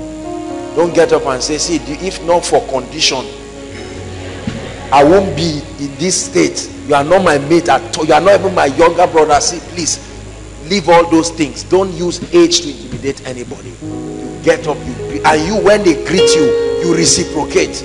You don't sit down and say uh-huh. How are you? Good morning all this living your life to yourself. I cook my food by myself. I don't share with anybody. I go to the market by myself. You will live destiny by yourself. And that's when you will know how painful it is to ignore people. You can have all the money but no access. Over three people called me today. Three people called me today to send names for jobs. I don't need it. Three people. I'm, I'm serious three people called me today and said ah there's there are some federal government jobs that are opening. Do you have a few people? I said ah yes so i have people. I said okay this one will give you one slot. This one hurry up and do this. It's called influence. It's called influence. That's what politicians do. One letter can wipe your tears. This is how miracles happen. I'm teaching you wisdom. You see me dwelling on this point because many of us have ignored relationships ignored relationships. There are certain people that come from other university campuses and other places. They come here and i see them i mark their face. Sometimes when i go around their regions to minister as people are trying to see me I, I look at their face and i say i remember. Are you not the one that did this bought me what? They say yes sir. And i say no no no. Let this guy come. Follow us to our hotel room. Access. I see him looking at his friends. I paid the price. I came and now i have to go may god give you influence this year. Access to people. Quality people. In the name of jesus christ. Hallelujah. The name of jesus christ. Access to people. What you are looking for is in the hand of somebody. Don't look for that thing. Look for a relationship with him. You will have access to it. Does a wife a, a good husband and a good wife does the wife really have to say sorry do i have a share in your inheritance all she did was what he got married to her and he also partakes of it stop looking for people's money look for relationships That's why many of us never get blessed. You come to a rich man and you are eyeing, you just hear making a call, say, eh, okay, transfer 15, add 5 to it. And you're like, ah, we're in the right place. Don't allow that attitude to cheat you this year. Listen, I do my possible best to build relationship with people above money. I have met millionaires. I have met billionaires. God is my witness. I've never opened my mouth to say, give me one naira. Not because I may not need it. You kill relationships unnecessarily when your motive is revealed to be wrong.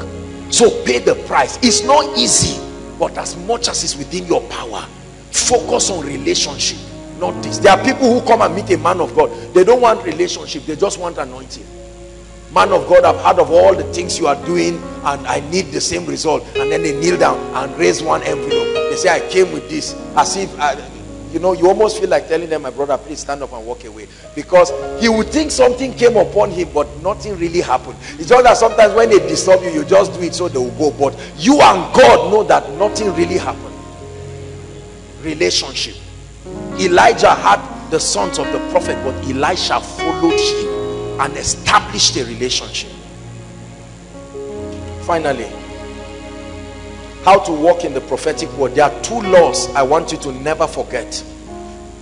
Number one is the law of encounter. It's changed my life. I've taught us. Jeremiah 29 13. He says, And ye will seek me and find me when you seek me with all your heart. He says and ye shall seek me and find me. Is one powerful law that has worked in my life. Encounter is what births transformation. When you encounter god when you encounter a dimension of him it will speak in your life. Please respect the law of encounter. Press for his presence press for his presence. Press for his presence. Allow people to run around and move around but stay. I don't mind waiting. I don't mind waiting. I don't mind waiting on you Lord. I don't mind waiting I don't mind waiting. I don't mind waiting on you. Seek God with all your heart this year. Be, be addicted to his presence. Don't just do it as a koinonia thing. I told you God said, tell them to give me time. When you give God time, he will reveal his glory in your life. Number two, the law of honor. This is the key for impartation. Honor. Honor. Let me talk for two minutes on honor. Hebrews 7 verse 7 says and without contradiction the lesser listen god has already designed his system. The lesser is blessed of the greater. Every dimension you want to enter is somebody's current experience if you know how to honor your way you will honor your way cheaply into anointings. Honor is so powerful it can bring the harvest of somebody into your life. Hallelujah. I'm a product of many anointings. I have mastered the law of honor. You must learn this. Learn this. Honor your way into unbelievable dimensions of grace honor your way into people's lives. Honor your way into their anointings. Honor the house of god. The bible says honor all men. It says honor the king. When you have that attitude of honor i'm telling you the sky will only be a starting point for you this year. I've made up my mind to honor every grace i come across genuinely and truthfully. That's why we provide bosses it's a symbol of honor we spend a lot there but we will never stop because it's a seed of honor i don't know what graces you carry it's a privilege to be a preacher but it does not mean i am better than you there are people carrying graces here that i probably am praying for when I'm able to honor you by helping out to take you to your destination is a seed of honor that will bring impartation. It's a big secret in this ministry. You honor people first from your heart, not just through money. Money is important, but the, the principal way of honor is to esteem a man and esteem the grace he carries truly. Both the person and the office he represents. Not just office, the person and the office. Hallelujah. We are going to pray. There are many platforms that are available this year to bless us. The koinonia services are there. The school of ministry is there. The forms will be out immediately. During the announcement we'll announce it right this night. The forms will be out. There are many platforms. Plunge into it. Don't be half-hearted. You will be cheated if you are staying. Plunge yourself and see what god does in your life. Please rise up on your feet and let's pray please participate in the prayer because there is a prophecy that i want to release on us. Lift up your voice and thank the lord for this word. Supernatural grace. Multiplied grace. Multiplied grace. Multiplied grace. Lift your voice inside and outside. Bless the lord almighty the god of the heavens and the earth. Bless him it's a good year for the body of christ. It's a good year for the body of christ. It's a good year for koinonia by the spirit of the living god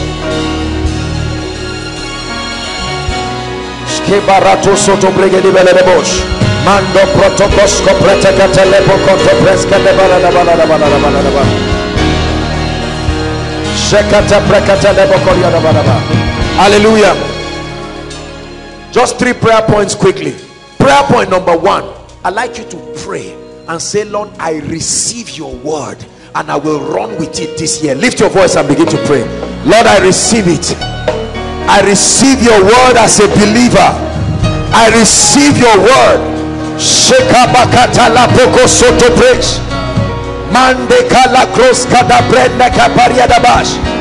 Are you praying, Koinonia? Lord, we receive your word.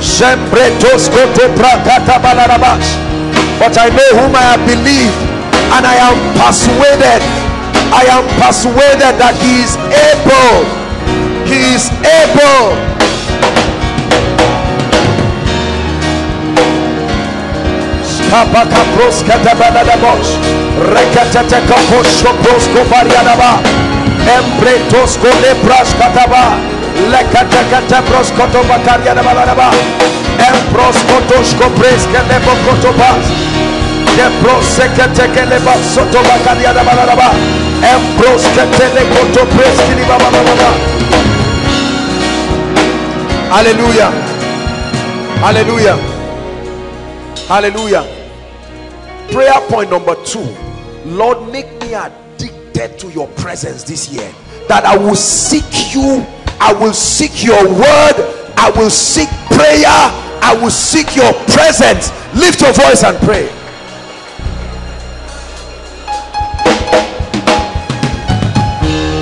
Lift your voice and pray. Oh, Lord, I seek you this year like never before. Like never before. I seek you with all my heart, all my might, all my soul.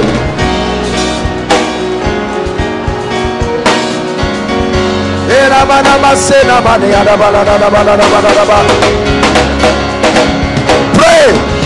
Revival to my prayer life. Revival to my word study life. Give me encounters so god. Supernatural visitations this year dreams visions encounters with the power of the holy ghost that will take me to a new dimension in the spirit.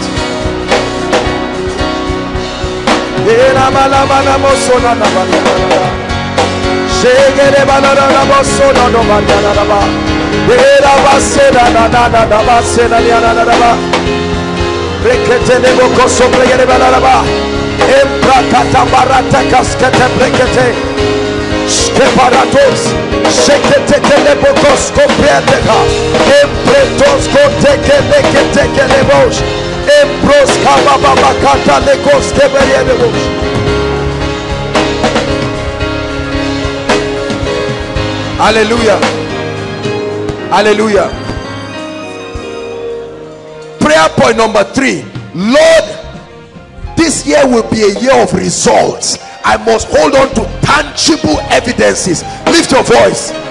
Results. This must be a year of results. Outside, are you praying? This must be a year of results.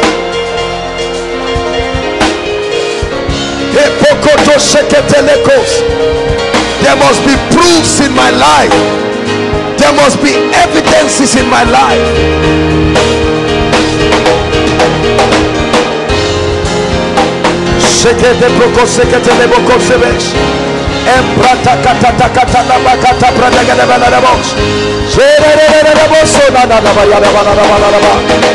Miracles, signs, wonders, the demonstration of the power of God, the demonstration of the word of God in my life, in my ministry, pray, in my business, in my education, in my family. There must be results in 2016.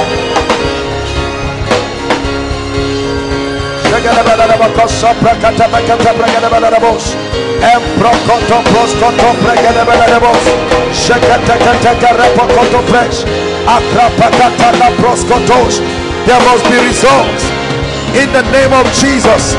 There must be results in the name of Jesus. There must be results in the name of Jesus. There must be results in the name of Jesus. There must be results.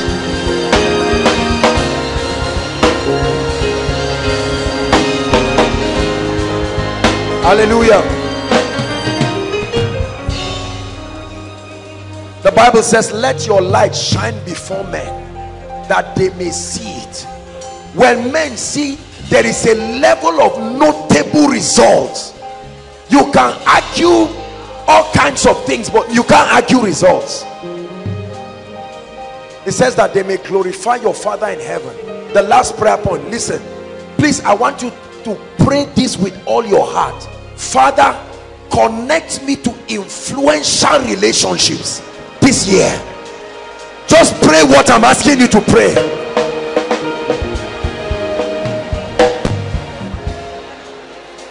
Lift your voice. Connect me to men of influence across different strata. Men who will allow me ride on their success. Men who will allow me ride on their anointings. Men who will allow me ride on their influence. Men who will endorse me. Pray. Oh, send thou help to Zion, oh great one. In the name of Jesus, send thou help to your people. Supernatural connections that will give you in one day the labor of other people's lifetime. Men of influence. In every mountain, men of influence. In the government, men of influence. In finance, men of influence. In the educational realm.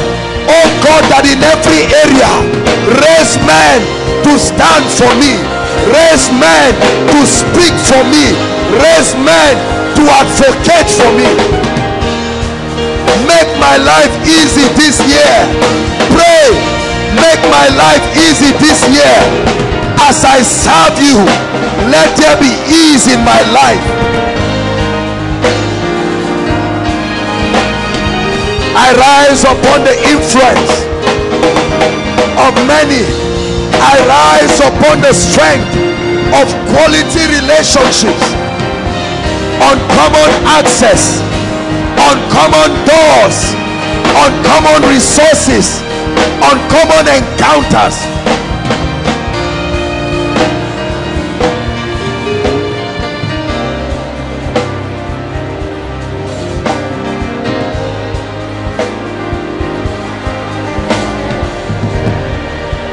Hallelujah.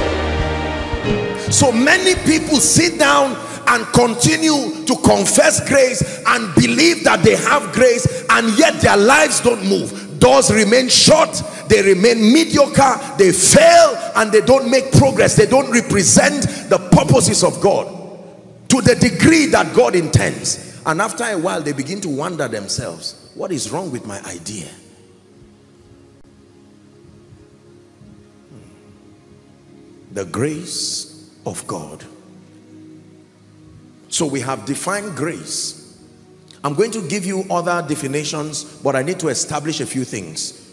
The grace of God is not limited to access alone. No. And the grace of God is not entirely unmerited. That is an incorrect communication. The Bible does not teach that. It is only Give us this scripture. First Peter chapter 5 and verse 10. Let me allow the Bible speaks for itself. The Bible says, but the God of all grace. Everybody say all grace. grace. It never said the God of grace. It said the God of all grace now suggests immediately that grace is dimensional the God of all grace, just like all wisdom. All grace means that it is dimensional. Is that true? Please sit down. There are largely two dimensions of grace. Not the only ones, but for our exegesis of scripture tonight, there are two dimensions of grace. Listen carefully. There is what we call in theology the saving grace the grace that saves. Are we together now? There is the saving grace. According to Ephesians chapter 2 from verse 8 and 9, the grace that saves. What is the character of this dimension of grace? The, the miracle that comes from that grace, listen carefully, the miracle that comes from that grace is not produced by the recipient. The recipient is only a benefactor of that grace. That miracle is called in theology the finished work of Christ. Are we together now? So when we talk about the saving grace, we're talking about the grace that is imparted upon the believer. Number one, to help you believe the gospel.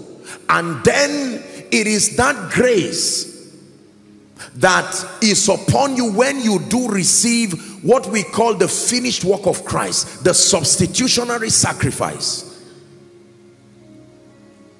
Jesus Christ did everything alone on the cross as far as the price for sin is concerned. No man assisted him. Man assisted him to carry the cross, but the entire spiritual journey, the transaction, spiritually speaking, he did it alone. Are we together? The Bible says it is not of works. What works?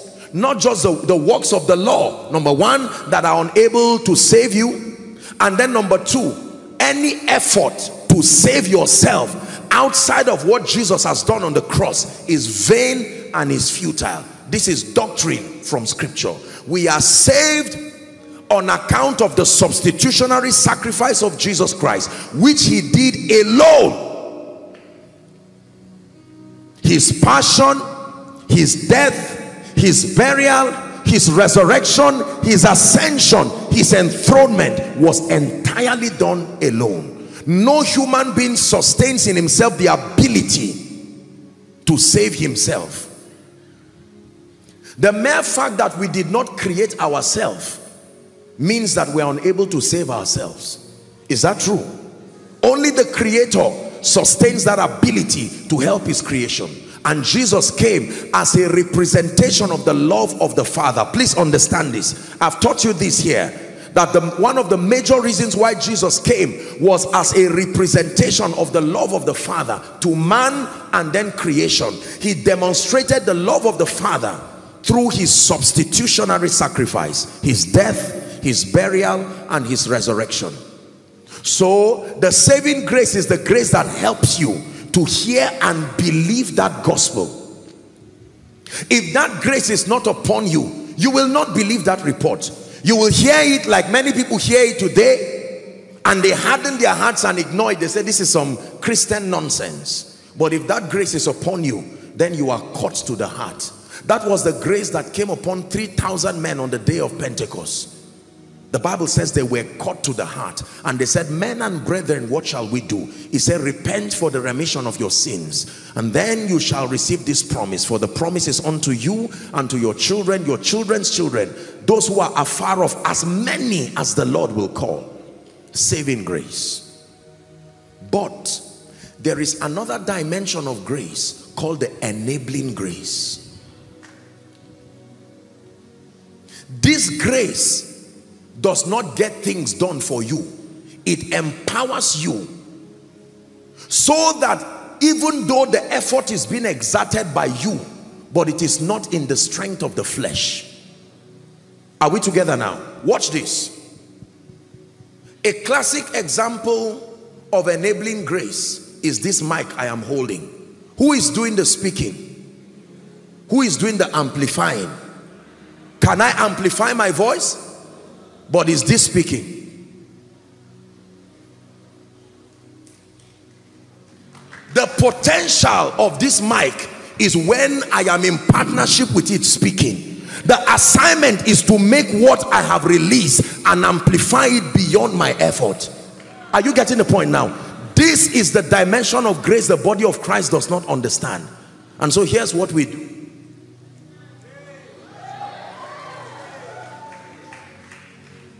Your grace is able to lift me. God, your grace is able to bring destiny helper. And God is saying, this is not how it works. The labor of the fool wearieth every one of them.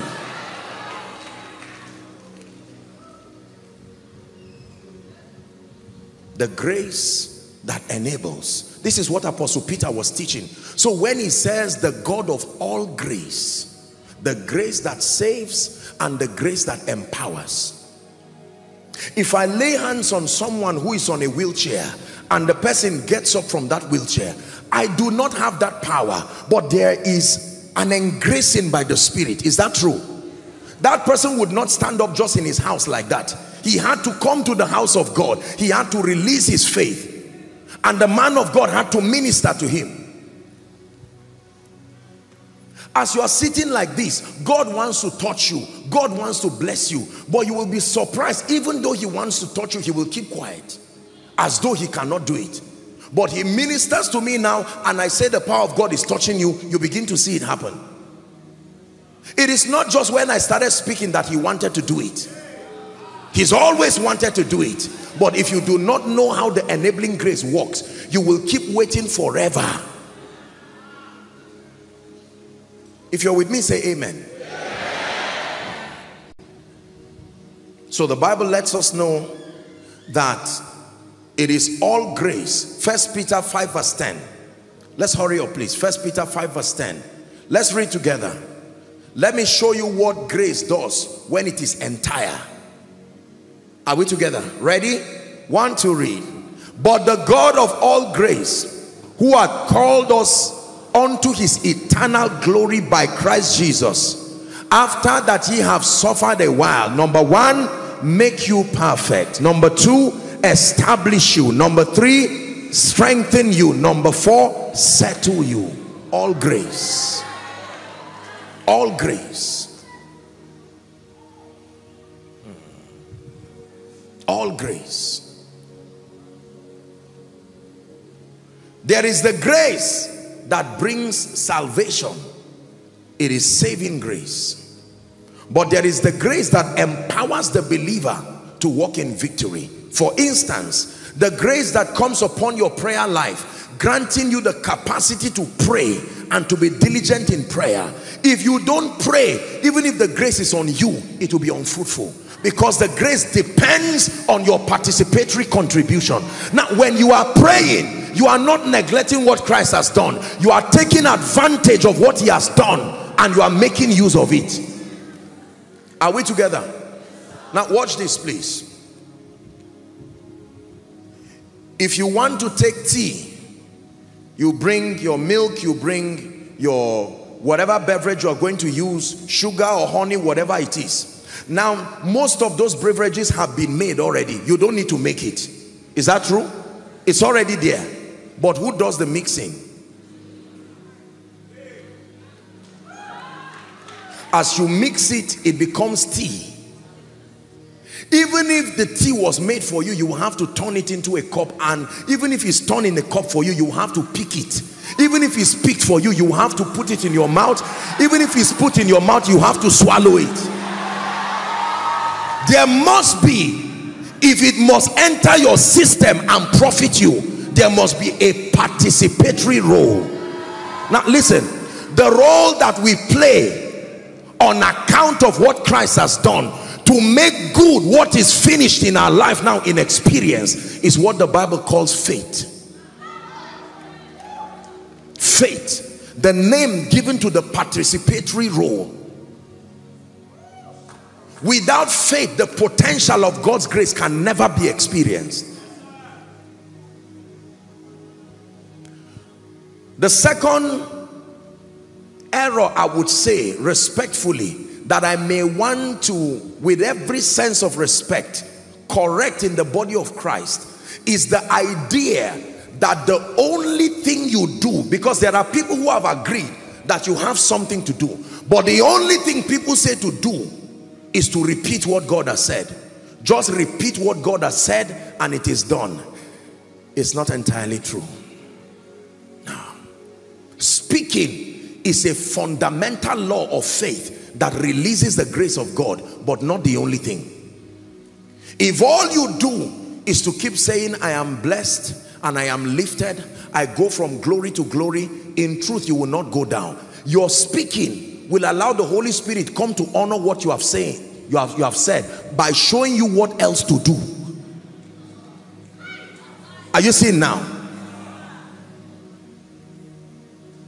There are many people who do not know what to do over their finances. They just declare, I will never be poor. You are not lying, but you will be very limited. There are people who doors have refused to open for them and they just say, all I know is that I'm not going to remain down. You are right.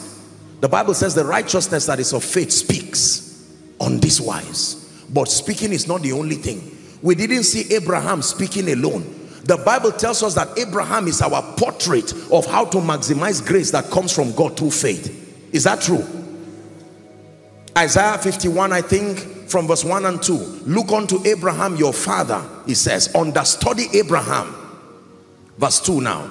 Look unto Abraham your father and to Sarah that body for I called him alone and blessed him and I increased him. That means study Abraham's life. What happened to Abraham when God called him? There was a conversation between Abraham and God so we see speaking. But that was not the only thing that made him a benefactor of the promise. We see obedience. We see the endurance of patience. Is that true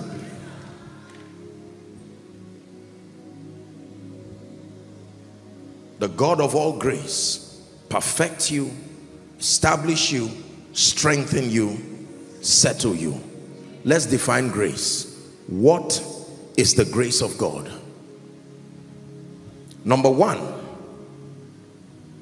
I wrote here and I want you to listen carefully to this definition before you write.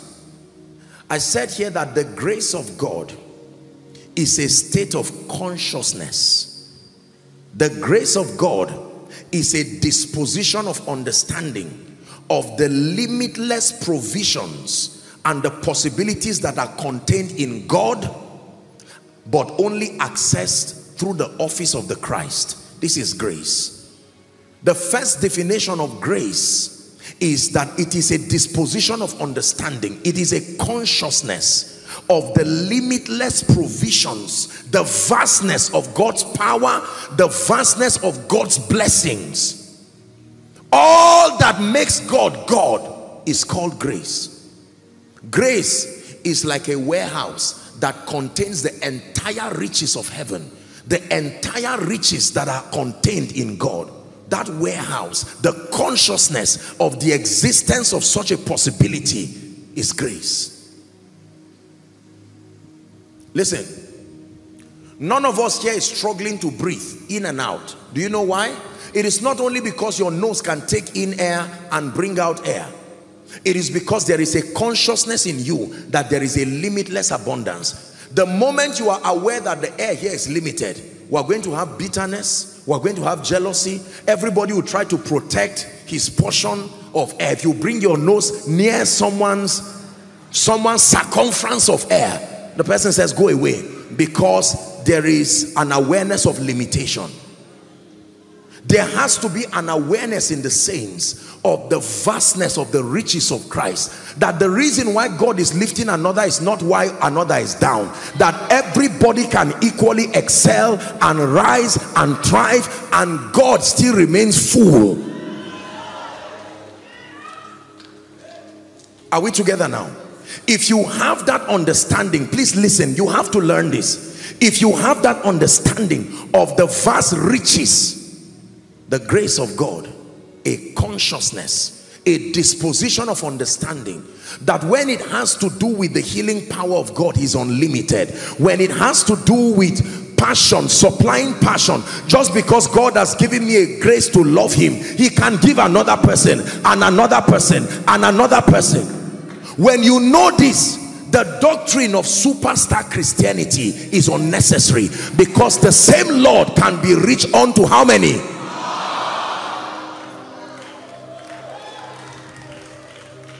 In as much as there is the election of grace as we call it but i'm telling you everyone can press into the fullness of the dimensions of christ. All of us seated here can prosper all of us seated here can know God and love God with such passion. Every one of us here can be a custodian of a dimension of God's anointing. Every one of us can make advancement. And yet God is still saying who is left in as much as everyone has received. That our partaking of this does not deplete him. Please pay attention. It is because we understand the vastness of God's grace that we can give freely without withholding. If you are not aware of this consciousness it will be difficult for you to give freely.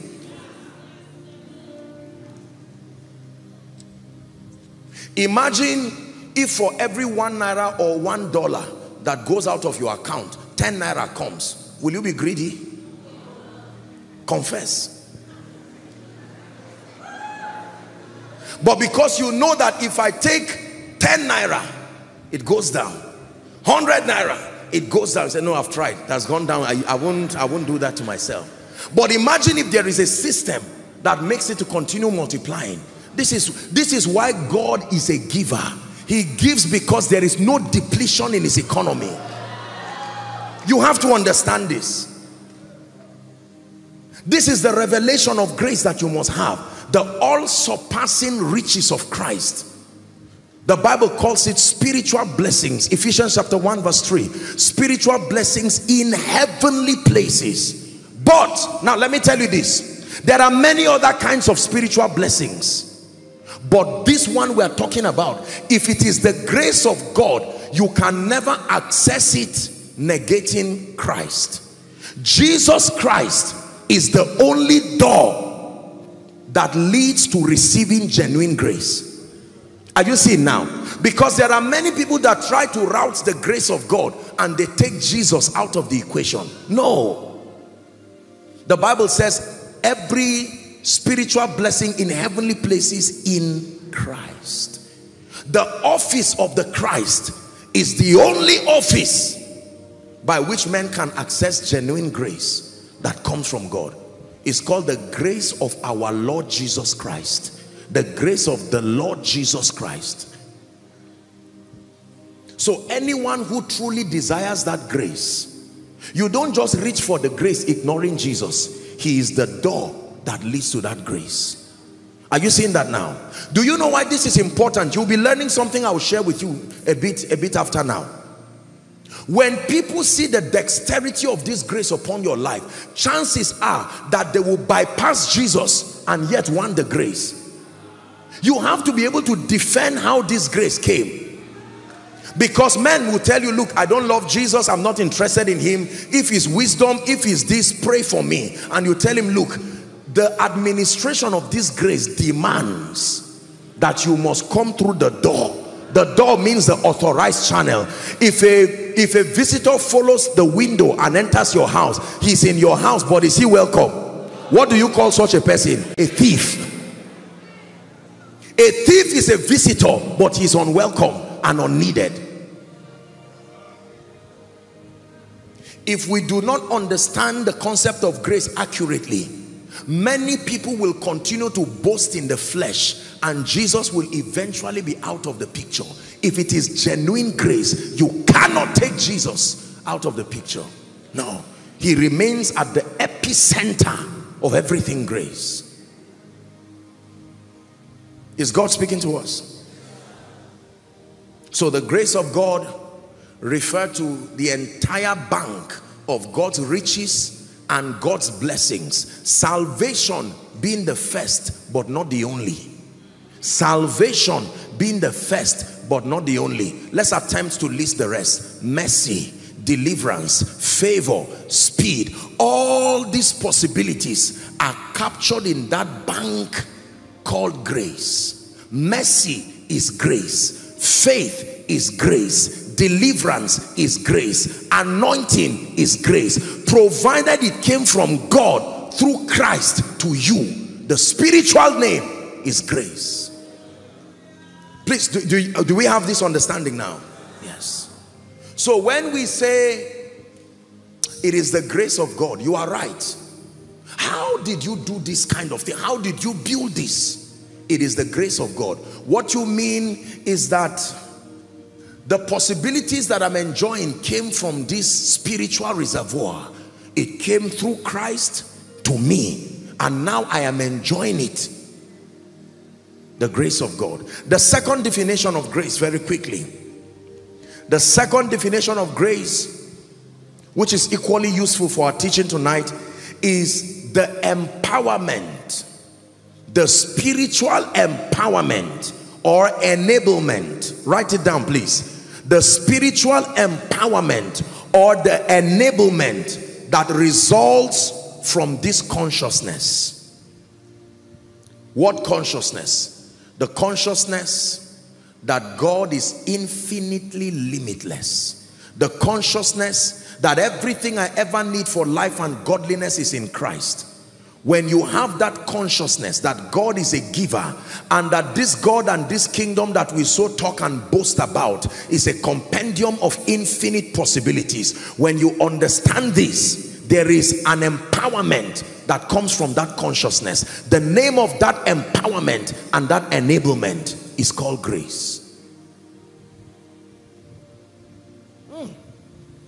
So if I believe that in Christ healing is possible, there is an empowerment that comes based on that consciousness. Are we together? If I believe that it is true, God prospers, there is an empowerment. The assignment of that empowerment is to bring you into the experience of what you have believed. Listen carefully. The assignment of that empowerment that we call grace, grace as an enablement, grace as help, grace as empowerment has the assignment to bring you into the experience of the things you have believed. So if I believe that God is a lifter, is it true from scripture? Yes. Has he lifted people from scripture? Yes. By having that consciousness that God is a lifter, the grace for lifting comes to my life in honor.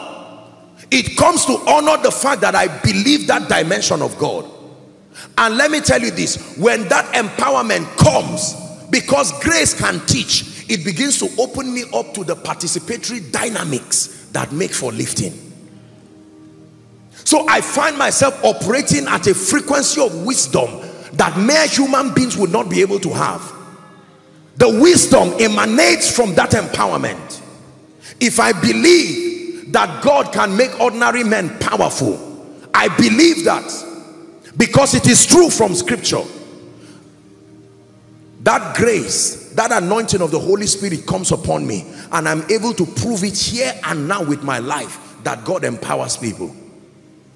So I can speak to someone and say by tomorrow, return lifted. And the person just leaves believing that it was just a word that came on him. And by the next day, that word that came on him will start drawing destiny helpers, will start making him act in a certain way until prophecy comes to pass. It's called the enabling grace. Are we together now? If I pray for you and I say in the name of Jesus, the prophetic or apostolic or pastoral calling upon your life, let it be fanned to flames. If you believe what I have said, the grace that empowers you will come on you. It is that grace that will start planting an appetite for prayer. Because in any case without prayer you will not grow. In any case without word study you will not grow. But the empowerment to do it does not come from you. The will to do it and the discipline to do it comes from you. But the empowerment to do six hours three hours is not your strength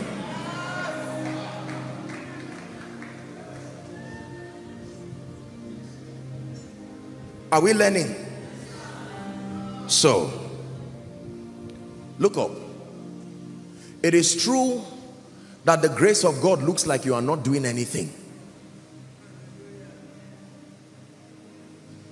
But that is not entirely true. The grace of God grants you salvation so that you are in Christ. That becomes your legitimate ground for receiving every other thing. The moment the saving grace is administered to you, what is the assignment of the saving grace? It helps you believe the gospel. Without the saving grace at work in your life, you cannot believe the gospel. The saving grace helps you to, to believe the gospel. And then it is responsible for the impartation of Zoe, God's life. From that time onwards, the level of grace that is at work in you is called the enabling grace. The grace that empowers you. The energy is supernatural, but the doing is still you.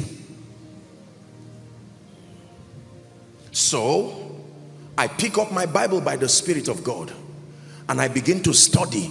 Ordinarily, I should not find anything. Ordinarily speaking, I should not see anything that culminates to revelation, except that I'm not just reading it in the flesh. What does it mean to read in the flesh? By your efforts. Only engaging your sensory perceptions.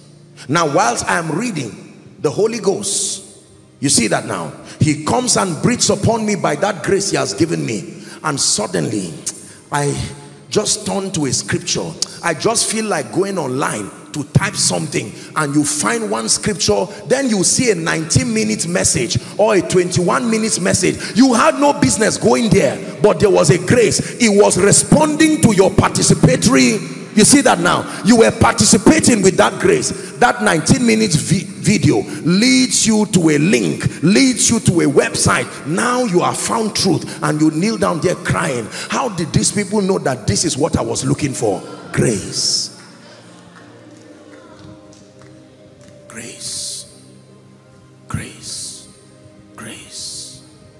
god knows that the call upon your life will require stretching and mentorship and discipline. And so whilst you are praying and say, God, show me mercy, all of a sudden you feel led to go to the market. But why should I go to the market after the rain? Whilst you are in that market, then you will see a poster that poster leads you to a crusade that leads you to a church that leads you to the answer to your prayer. That is grace. It was grace moving you all the way but you cooperated with that grace. That's why you are seeing the potential. You would have ignored it and the grace will still remain there. Listen did you know in second kings chapter 4 the oil had the ability to solve that woman's problem. But the oil could not multiply itself on its own. There was something she had to do to release the potential of that oil. What was her assignment? Increase the vessel. When she came to the prophet the prophet said you are a prophet's wife? No. This is not how God works. You are sure you are a prophet's wife? Yes sir. My husband is late. He said no. There must be something in your house what do you have? Said nothing. He said, no. Check. I said, oh, oil. And the oil was listening to the conversation. And said, for years I have been here. You don't know what would have happened to your life. You never would have tasted of poverty if you had recognized that I am here waiting for your participation. As soon as the prophet gave her counsel, he said, I know where the problem is. You have been waiting for the oil to find its way to fill vessels. You go and borrow vessel. Don't borrow oil, but go and borrow vessel. Whatever it will take you, you can plead with your neighbor, help me. Don't be ashamed. Go and outsource these things. And when she came, listen carefully. Listen. He said, now that you have it, shut your door and begin to pour. And the oil said, now that you have done your part, watch and see that this was no ordinary oil. So God gives you your finances and in your dreams, you're having visions of you thriving and yet you are going down because the grace has been waiting, but there is no knowledge to know what to do with that grace. You see that? Faith is not acting. Faith is acting based on the conditions tied to the promise there is always a condition. You don't choose what to do. You find out what you are supposed to do. Deuteronomy chapter 28 from verse 1 and 2 it shall come to pass if thou shalt diligently hearken to the voice of the Lord the Bible says to observe and to do all his commandments which I command you this day. It says that the Lord will set thee on high above all nations of the earth. Every time God speaks the grace to make what he said come to pass starts hovering around the vicinity where that word was spoken. But the grace keeps waiting there. Who can believe that word and find out the condition that makes for the activation of that grace? Listen when it was time for Jesus to come upon the earth there was an engracing that came by the Holy Spirit waiting for that virgin in this case Mary. If Mary refused and said thank you for all this your story uh, Gabriel go back to heaven and tell God I'm not stupid he would have respected her will and the word alongside the grace would have looked for another person.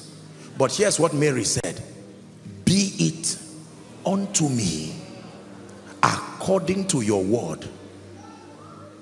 The moment that happened the grace called the power of the highest that overshadows. How shall these things be? She asks an honest question. I'm willing to cooperate but can a woman give birth without a man? And gabriel said leave the rest. Just understand. Your own part is your own part is to agree god is not a demon. He will not force a baby inside your womb. And she said be it unto me. The same way i hope you know that she had a responsibility of carrying that baby for nine months. And can i tell you honestly? I believe that she went through the normal things women go through when they are pregnant. Don't you think she was smiling every day carrying a heavy jesus? No there were times she felt this jesus i they told me you are the king of kings. You are inside my stomach. I am tired but her will kept playing the role. When it was time she would have refused and said you are not coming out. You will know now that you are inside my stomach. She had to cooperate. Now are, we, are we together now? Yes. Why didn't jesus just jump out one morning and say thank you. I was only waiting to be nine months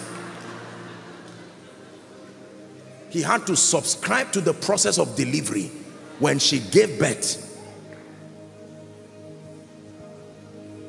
Why am i teaching you this? Please place value on what i'm teaching you.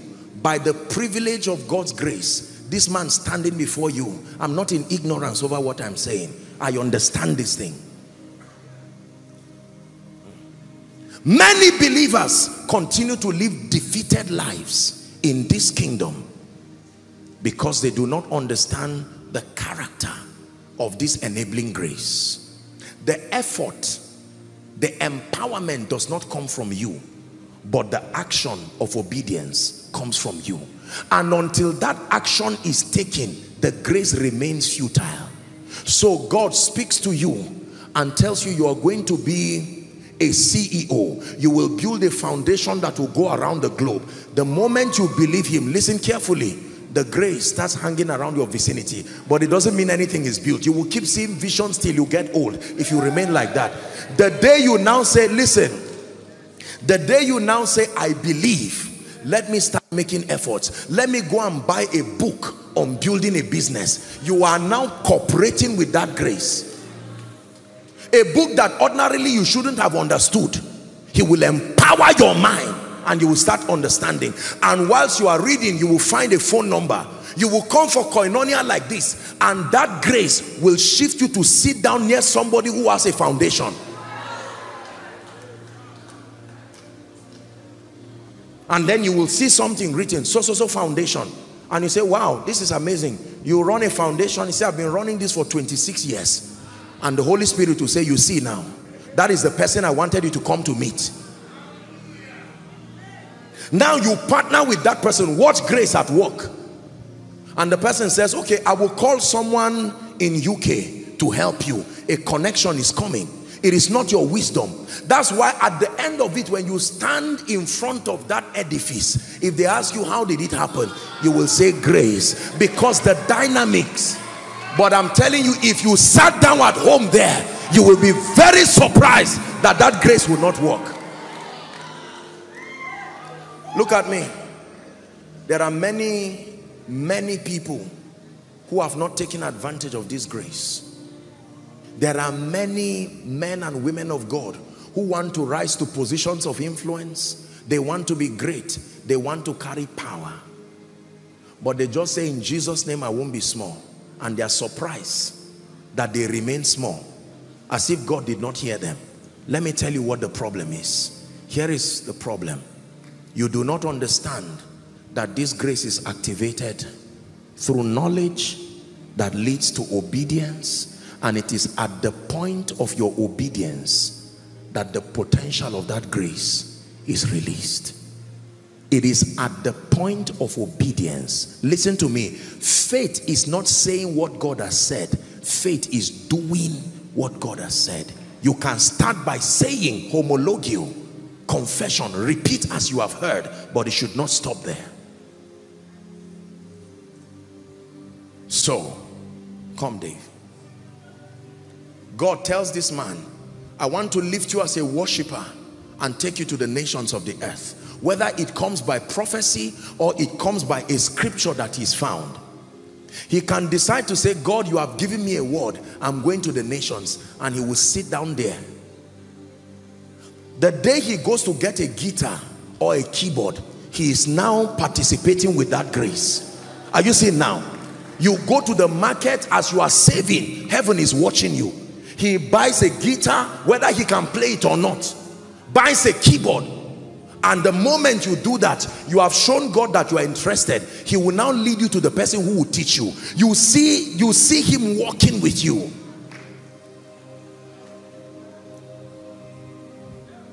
I believe that God has called me to serve his purposes in the capacity that I serve. And I thank God for it. But sitting down to fold my arms and say the grace of God is at work in my life, I will be surprised till tomorrow. Hmm. Let me show you a scripture.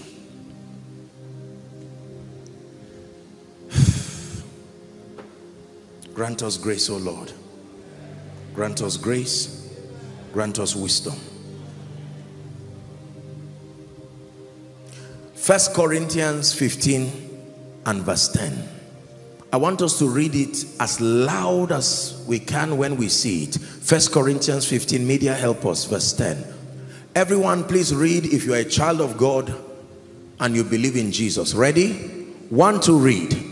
But by the grace of God, I am what I am. Stop. Stop. Stop. How do we become in this kingdom? By the grace of God. For by the grace of God, I am this politician that I am. For by the grace of God, I am this man of God that I am. By the grace of God, I am this CEO, this billionaire by the grace of God I am this that I am but here is this. He says and his grace which was bestowed upon me was not in vain. Stop. Hmm. so we're, we're examining three things now. The first is that the summary is that it is grace. But hey so that you don't carry this confusion hold on. Let me explain to you. That grace can be wasted. Let me show you how to waste it to sit down and fold your arms believing that everything is all right is called making the grace of God. Please keep the scripture there in vain. How did I maximize that grace? Next expression. Everyone read. One to read.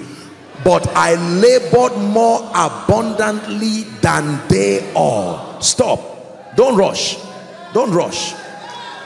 So number one I am what I am by the grace of God. Number two the grace came upon me but the grace did not meet ignorance. The grace met me laboring the labor dimension of faith. The grace met me looking around for a shop. The grace met me learning how to start the business the grace came upon me and I did not sit down. You are going to start a school. The grace met me going around Abuja and understudying schools as proof that I believe what God said.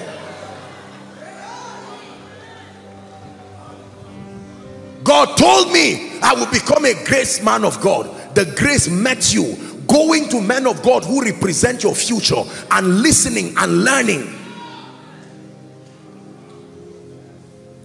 it says I labored more than you all.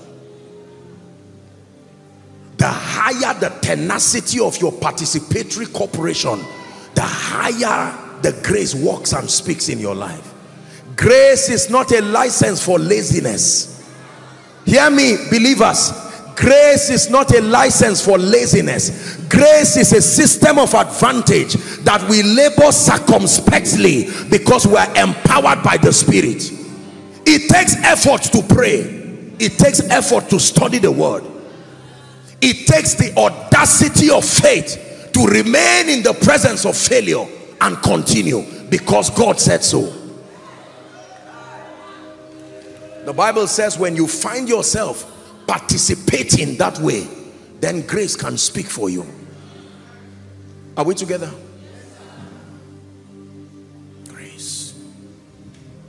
it says yet not I but the grace of God. That means it was not by my energy.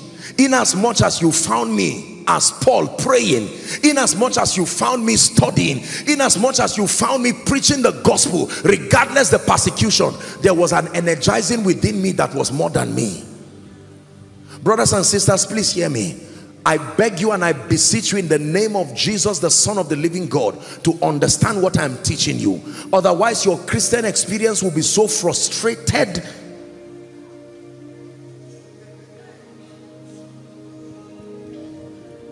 Apostle, ah, God has shown you grace. You are right. But please explain to me what you mean. If you mean that I sat down quietly, grace does not work like that. The grace that saves is loitering around here. But there are people, if you die now without Jesus, you are going straight to hell. Bishop David Oyedepo will say any Christianity that makes God absolutely responsible for the outcome of your life is an irresponsible Christianity.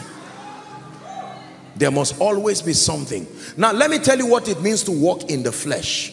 To walk in the flesh means to depend on your effort. To walk in the flesh means to believe that it is absolutely because of what you have done. You do not need God. It is because of my human connection, my wisdom. It is because of this. Uh -uh.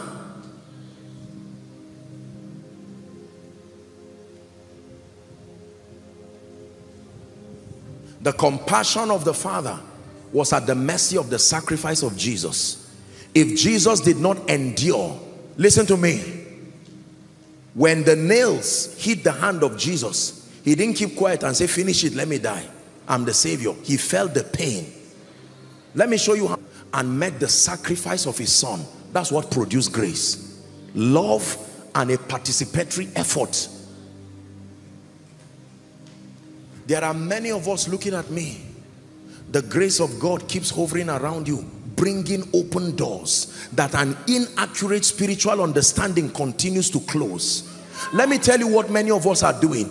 This illusion that we have, one day go better, is a slang that we use in Nigeria and parts of Africa to mean one day arbitrarily, without any effort or contribution on your own part, things will change. Is a joke, joke multiplied.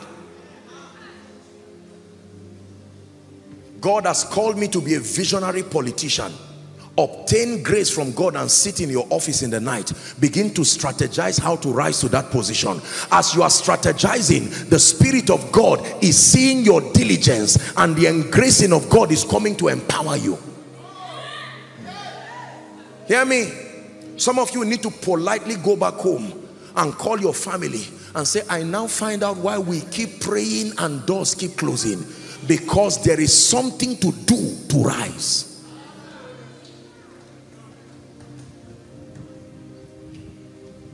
There are people who God will speak to and say, tomorrow you will be a director of an institute there. But the director requires you have at least a master's or a PhD or become a professor.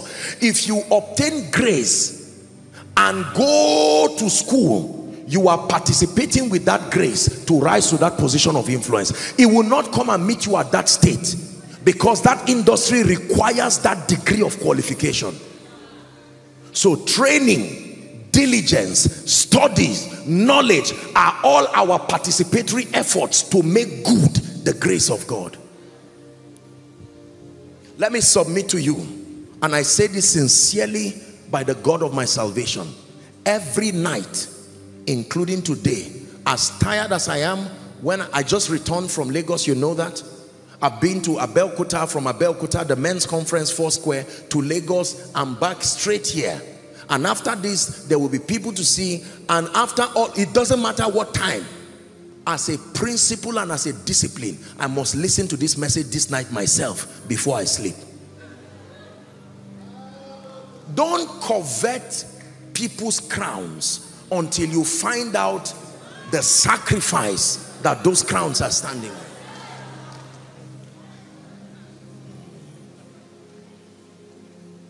Oh, you are just lucky. It's just God's grace.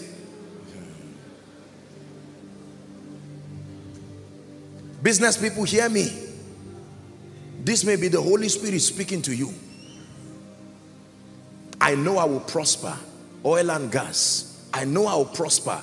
Banking. God showed me you are right. But believe me, remaining at that state will only frustrate you and bring reproach to your life. These signs shall follow them. Follow means you are moving. Follow means you are taking steps. The grace of God to empower Esther to receive favor was there. But if Esther sat down she would not find favor with the king she said you know what I need to see this king my people are about to die I believe I'm favored so I'm going to see him if I perish I perish listen now, I'm not encouraging you to be a hustler. That thing we call hustle, blindly trying to make things work. Don't do that. But have you noticed that people who don't give up never end up in shame for some reason? Have you seen people like that? They may not even be very serious believers. As soon as one door closes, they have no time to mourn. They force another one to open. They are losing their job. They grieve for two hours and they are up with their CV again. They have an e-version. They have their bag with the, the, the, the CV. Any version you want, they are prepared. There are people like that. Are you into real estate? They will say yes. In two nights, they will read about real estate more than people who have been in it in 10 years because they will not let that opportunity go. Sooner or later, my brothers and sisters, you will be surprised to find out that something will work. I'm not just marketing flesh. I'm teaching you how the grace of God works. Hear me. There are many of you for a long time, God has shown you that there are mantles, there are anointings. You've had dreams, you've had visions let me see what you are doing as proof that you believe what God showed you. For many of us, this is what we are doing. We're folding our arms. Oh, one day the fathers will die and it will be our turn. What sort of thinking is that? Oh, I know, don't laugh at me. I know one day I will rise. it doesn't work that way. I know God will prosper me. Show me the books you bought in honor of that word. Show me the uncommon mentors you are pursuing in the area of finances with proven results as proof that you believe you are a kingdom financier.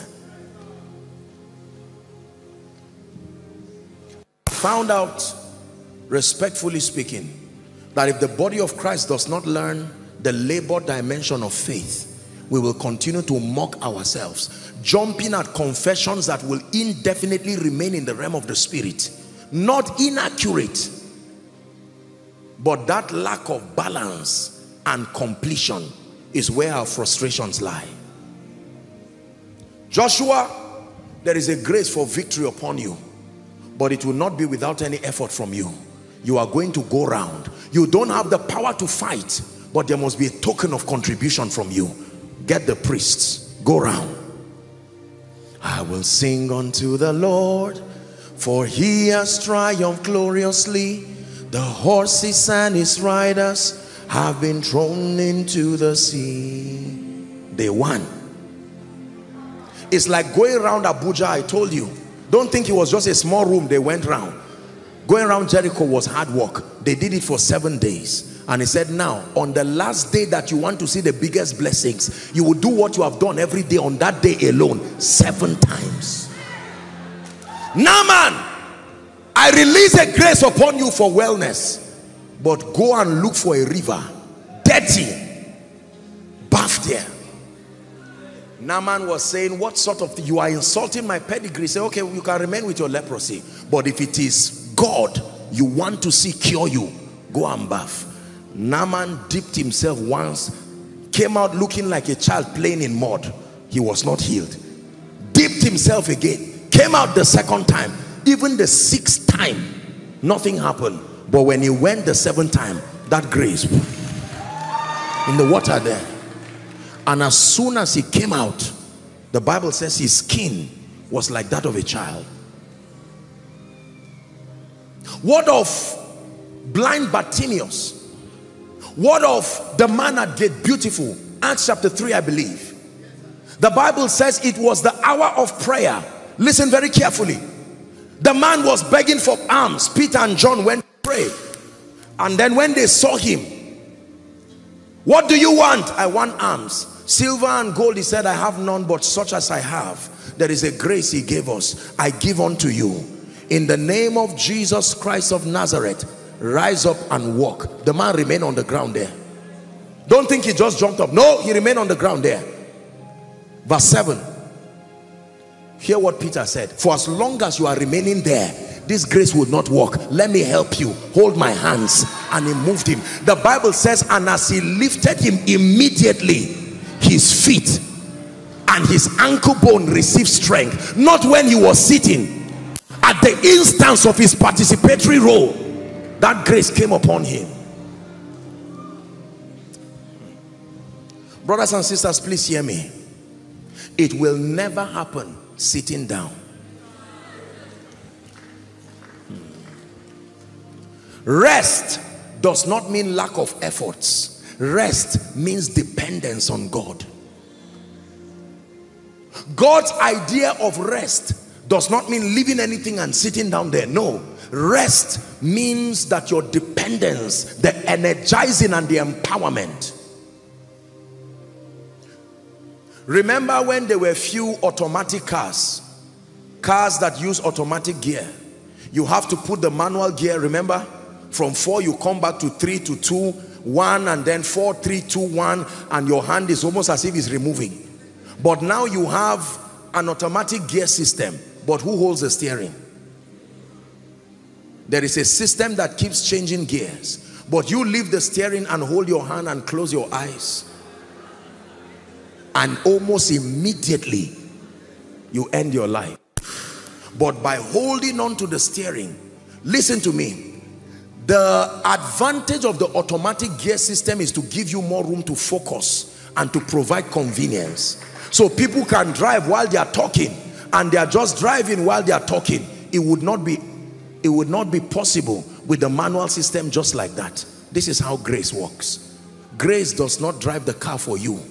It helps you to engage the gear system so that whilst you hold it and it also empowers you and gives you the strength my brothers and my sisters obtain grace from God today. Find out what you need to do about your destiny. Rise up knowing that I have the backing of heaven. Open fire towards your destiny. And in one month you will do more than you have done in 10 years put together. Then you will come and stand here. And when we say how did it happen? you will say the grace of God. And we will know what you are saying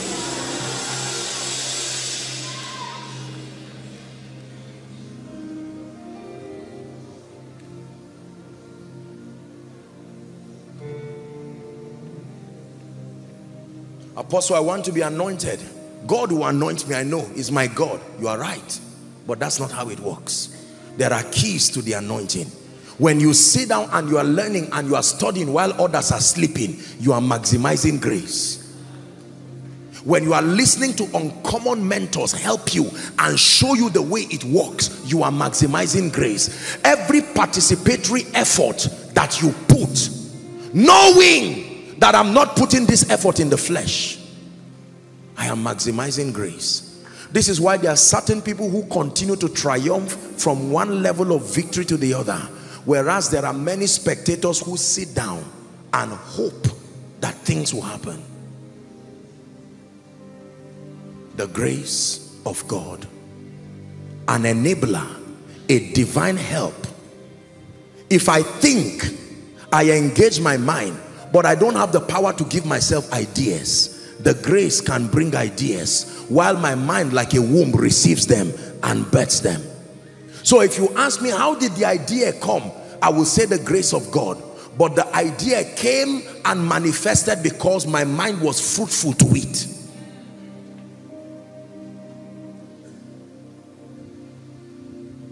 When God sent me to this city by the grace of God and with every sense of humility I knew that his grace and his name was there to back me. But if I sat down, I folded my arms and I know I, I, one day it will happen. Don't worry. You will be blessed. Tomorrow would come and even next tomorrow and nothing would ever happen. But that effort in faith from one step to another step to another step, his grace leading you his grace guiding you. Oh God, you are my God. And I will ever praise you. Oh God, you are my God. And I will ever praise you. I will seek you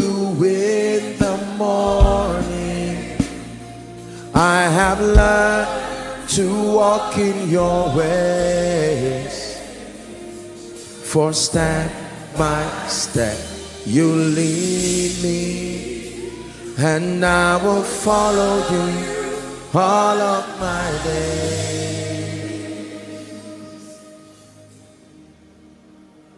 Apostle, I don't know why I have favor, but people run away from me.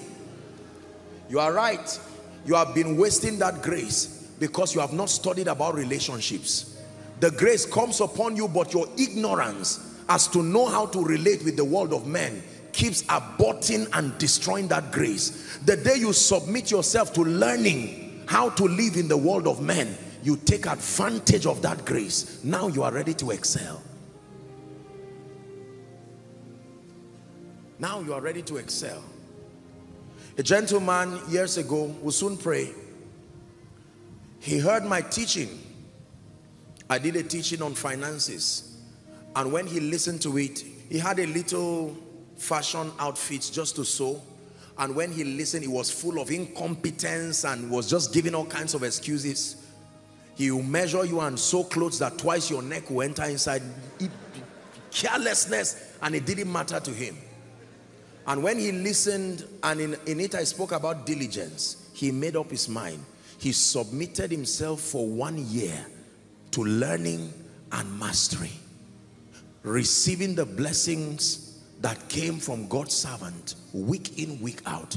At the end of it, listen very carefully. At the end of it, that gentleman grew to a level of competence. He now, his goal and his prayer was that one day he would also include me among his clients that he would be sowing for. And he believed that he was called to do it, but not that version of him. And he worked on himself for one year and he sowed something then in Zaria. He carried it and brought it. Many people used to sow and bring clothes as seeds. And for some reason, I was restless early in the morning i said let me check out what this guy did. I'm, I said, I'm sure all these people who have sown a lot of things god bless them but i may not be able to use it. But when i saw his finishing i saw what he did. I asked the protocol. I said look for this guy. Let him see me before he leaves. Ladies and gentlemen that was the beginning of open doors for that gentleman. The rest is history. History that is worth knowing but it is history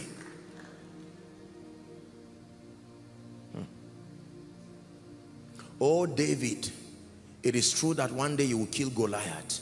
But if all you do is sit down in the bush staring at animals, Goliath will kill you as if God did not call you. Are we together? Yes, sir. When David was killing the bear, when David was killing the lion, the grace for leadership was supervising him, watching him. And when the moment came, he came and stood before Goliath and he said, I've rehearsed well. Goliath said, am I a dog? Said, Goliath, be careful. You don't know what I've been doing preparing for this day. I am what I am by the grace of God. But the grace, I did not waste it in that I labored. I labored. In prayer, I labored in diligence. Nigerians, let's return to a point where we find dignity in labor and let's see it as part of faith as an as a participatory role to obtain and maximize grace. Arbitrarily leaving things to just walk like that. Arbitrarily waiting that one day we'll become exceptional politicians with no effort on our part exceptional businessmen doing business with nations exceptional men of God mentoring kings and speaking to nations just because God called you. I apologize but that may never happen. This is not how the kingdom works. Therefore you must obtain grace tonight to go back and say Lord what have you told me? And what participatory role do I have to play. In diligence while you are crying you still believe I'm a carrier of that grace and it's working for me. God has called you into the music ministry. Sit down and pray in tongues until songs start coming from heaven. When they come write them. You are maximizing grace. The first song you will sing it and like it alone. Don't be discouraged. Keep writing. Are we together you believe God has called you into business. You will go full of grace and be surprised that you will fail woefully. Don't worry. There is a difference between failure as a person and failure as an event. Give God glory for the lesson you are learning now because it will give you the audacity to mentor others tomorrow. So continue learning and going.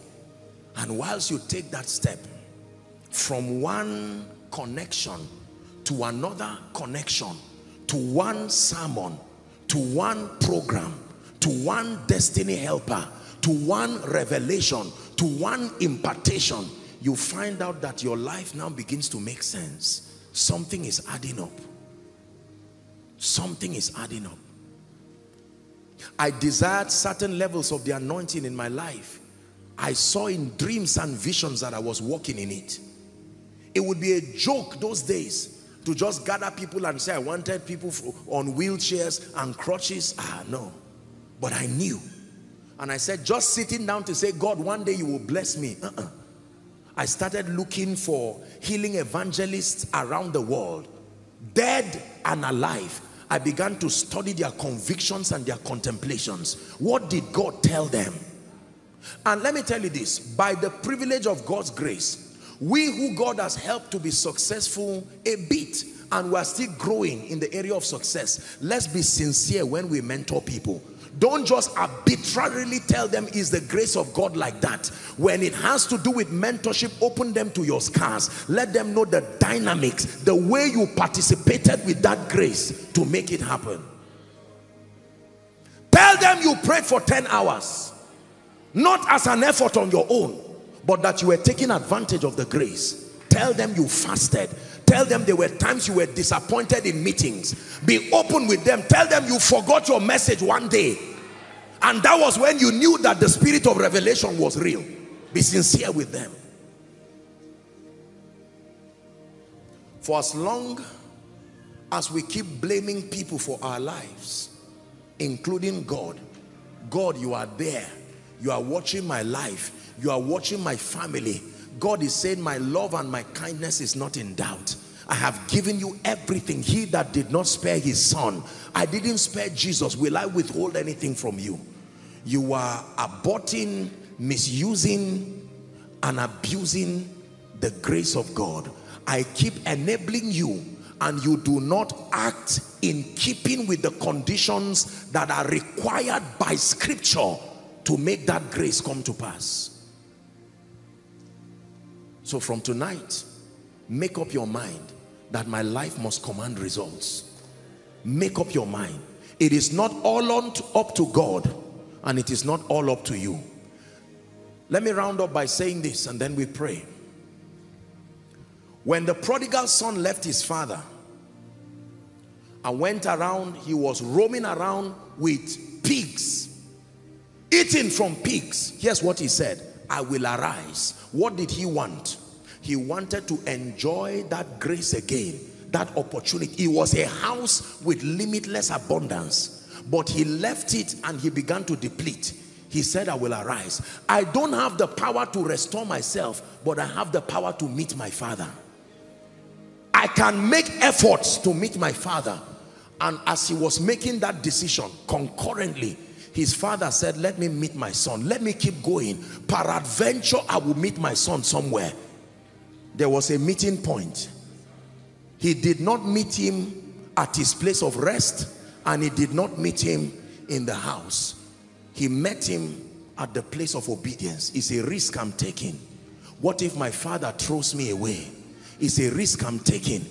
And while I'm going, I'm rehearsing what I will tell him. Father, I have sinned against you and against heaven. I am not worthy to be called your son. Take me as one of the slaves, but at least let me make the efforts. I am going. If he drives me away, I will return back with honor. I'll say, God, at least you've seen that I've made efforts. When the father saw him, the first thing the father did was to embrace him and said, your obedience has spoken volumes. You don't need to tell me more. I already know the story. The fact that you understood and discerned enough to leave that point, not minding the shame. People look at him and say, this guy whose father was wealthy, what a useless boy. Enduring the ridicule to keep moving was already enough and um, the moment the father met him the bible says he put back that ring that symbol of honor sent him to the house held a party for him. And while that was happening the elder brother was now angry. And the elder brother said so what about me? I have been in this house. And he said you want to make the mistake of this person now? Everything i have is yours it's just that you don't know what to do. All you needed to do was to ask me as your father. You do not have the consciousness of my fatherhood to request that I will give you a lamb. Will I not honor you for your obedience and your staying?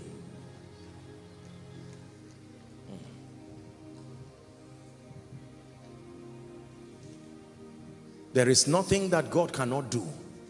But folding your arms to say, Lord, I know there is nothing you can not do. It's true. but I'm showing you the dynamics of the administration of grace. Let's read that scripture again. First Corinthians 15, 10. We're wrapping up.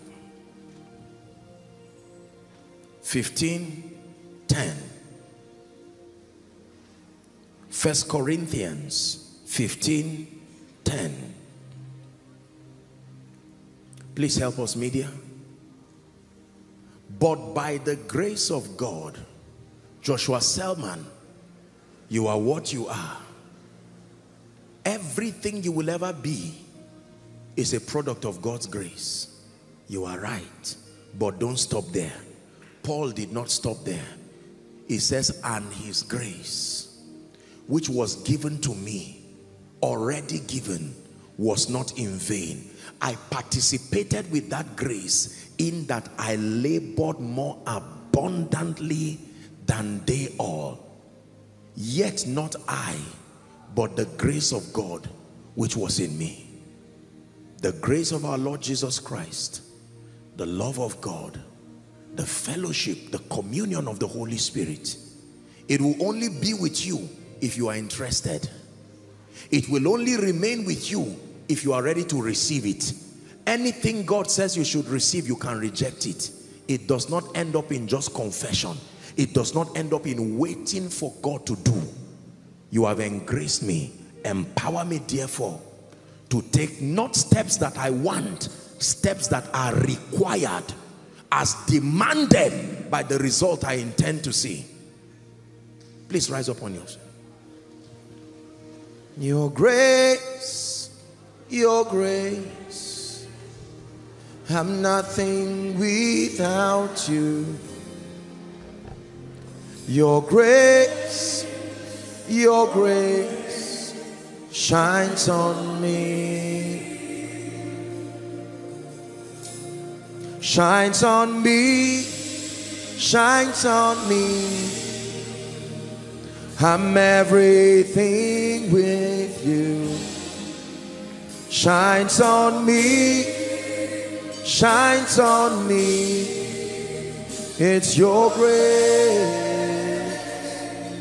Listen, whilst you're standing, I want you to begin to see with the eyes of your spirit the next level of your Christian experience, the next level of your business, the next level of your family, the next level of your finances. See it because in Christ is a possibility.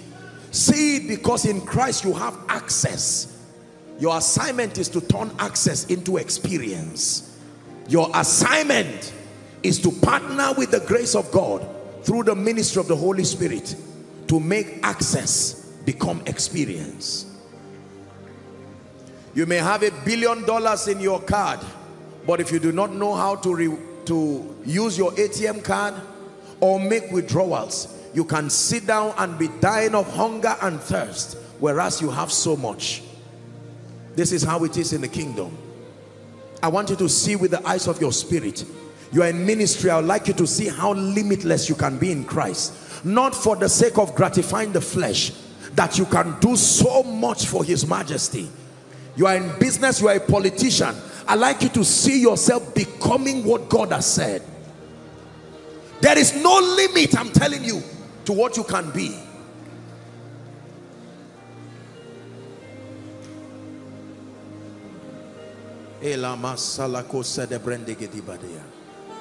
I believe God, I believe you, I believe you, I believe you. The abundance of your grace. Hallelujah. Hallelujah. Hallelujah. This is my philosophy. I walk with the consciousness that there is space for me in destiny. There is no devil in existence from any nation and any region that will edge you out of your space in destiny. But just knowing it is there does not take you there.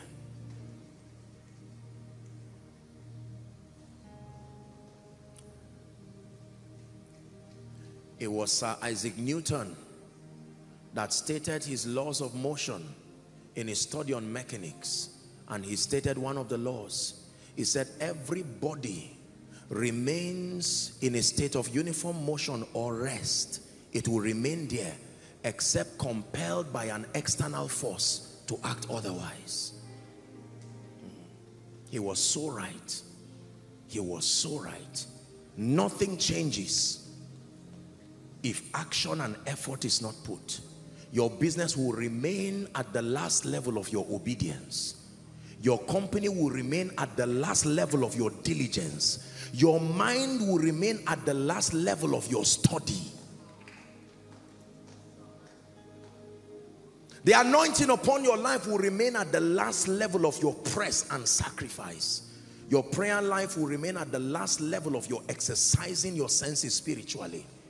Please hear me. Even if you are Esther, while you wait for Ahasuerus, use the oil. Don't sit back there. Esther was not sitting. Every day the oil was coming upon her.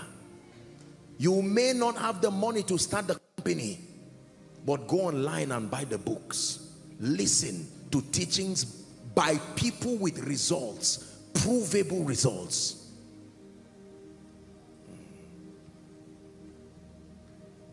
You are trusting God for ministry. Ministry is grounded for you. It is not growing. You are a sincere person, but nobody is placing a demand on the grace of God upon your life. Stop giving flimsy excuses around. It is not tribe, it is not region, it's not where your church is located. No, where the carcasses are, there the eagles will gather. Stop giving excuses. It's because I am this, that's why I'm not promoted, I'm lifted in office. Take responsibility. Lord, there is something I have not done with the grace you gave me. Remember the wife of the son of the prophets. That oil has been in your house for a long time. The oil kept speaking since last year. Will you leave me like this? Businessman, do you know what I can do? Do you know what the grace of God can do? Man of God, do you know what the grace of God can do? Prophet, apostle, do you know what the grace of God can do?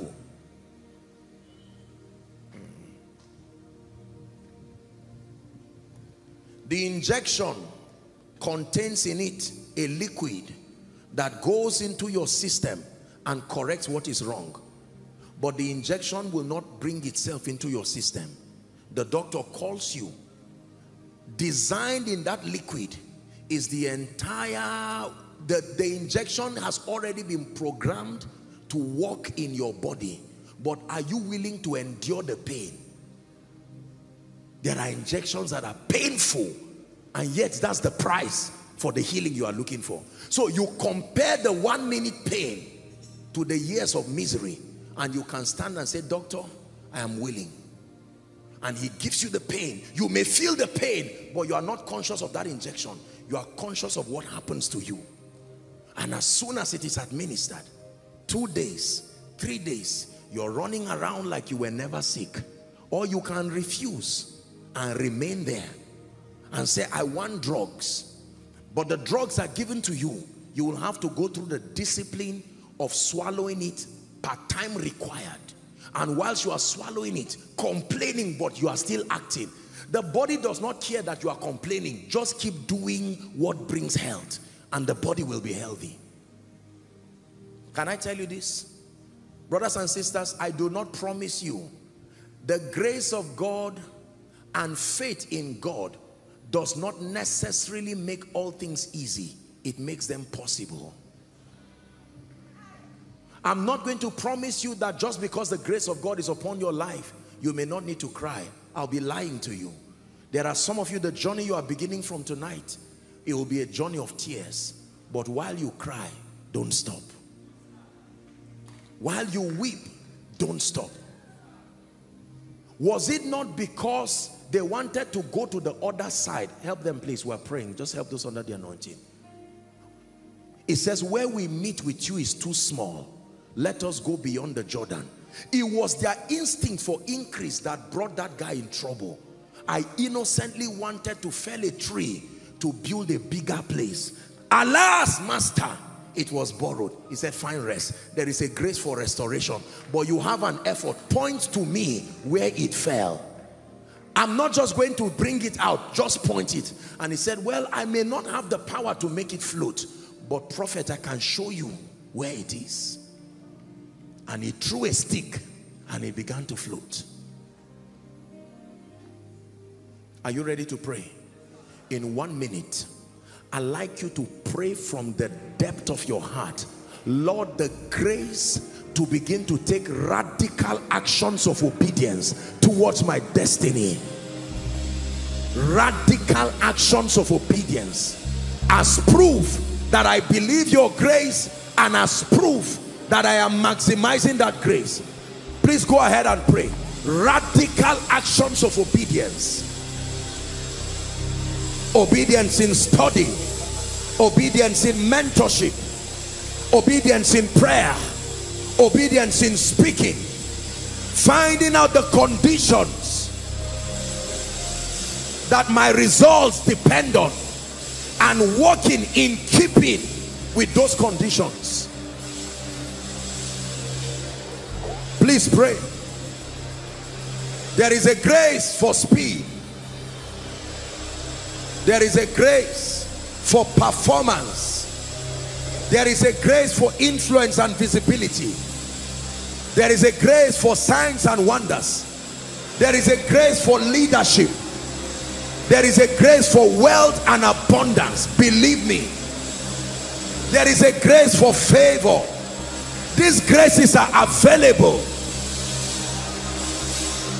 but even if they come upon your life, they don't produce results automatically. They enable you to do. They enable you to act. They enable you to act. They empower you.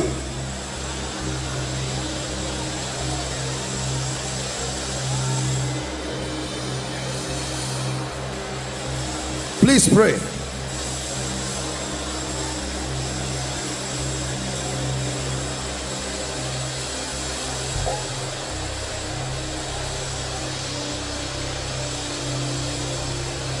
Hallelujah. Last prayer point tonight. Second Corinthians chapter 9 and verse 8. Mighty God, someone's life is changing. Second Corinthians, help us medium. Second Corinthians chapter 9 and verse 8. Please read with me, believers. One, two, read.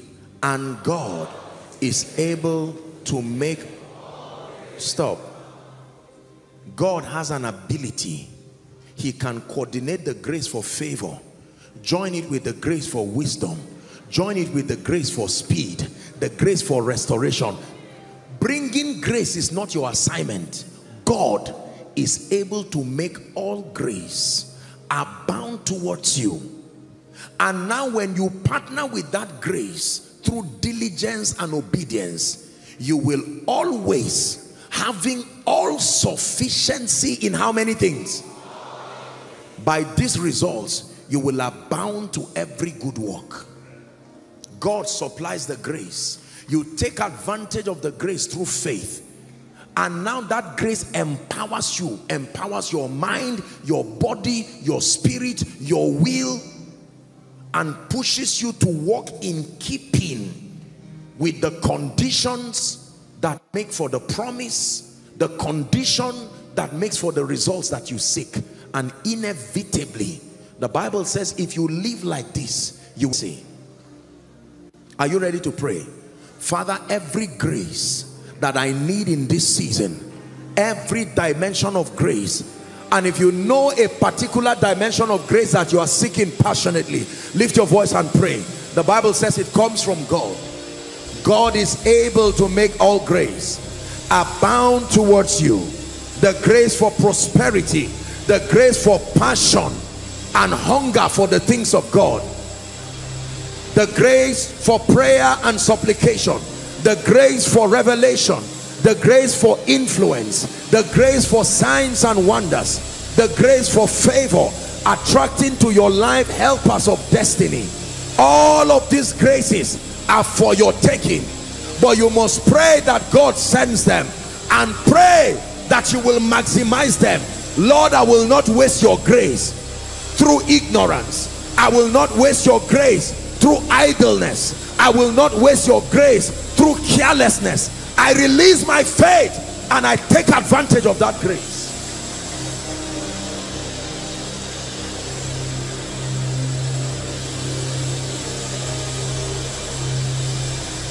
Hallelujah. Praise the name of the Lord. Before I speak over your life for tonight, I want to invite very quickly, I've, I've preached about grace. There are people here scattered within this auditorium. Please, no movement. Let's respect the altar call. Those outside, all the overflows down to the basement. And there are people following from nations, continents, territories. You have heard the word.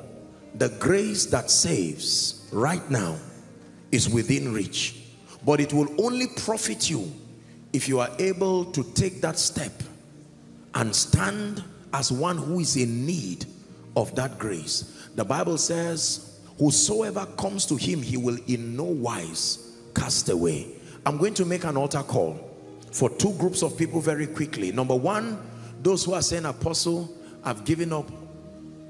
I'm, I'm tired of living my life my own way.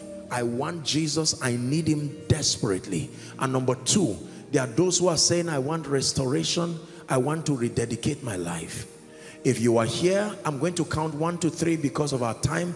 Please boldly, unashamedly, I'd like you to leave your seat and come and stand here. Remember that the grace is only activated when we take those steps of faith. An instruction has been given by the Spirit. Celebrate them as they come. I begin to count now. One.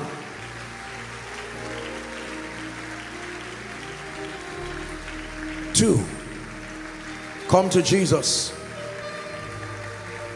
The saving grace is working in your life. No matter how far you have gone, he can give you a new beginning. Come. Come to Jesus. Koinonia, celebrate them as they come. This is the grace of God. This is what the grace of God can do when we participate with that grace. All those are the overflows. Just move to your projector screens. Following online, be ready to make that prayer. Are you still clapping? Watch what the grace of God can do. For as long as they are seated, it will look like grace is not working. But when you begin to take action, then you see the grace work.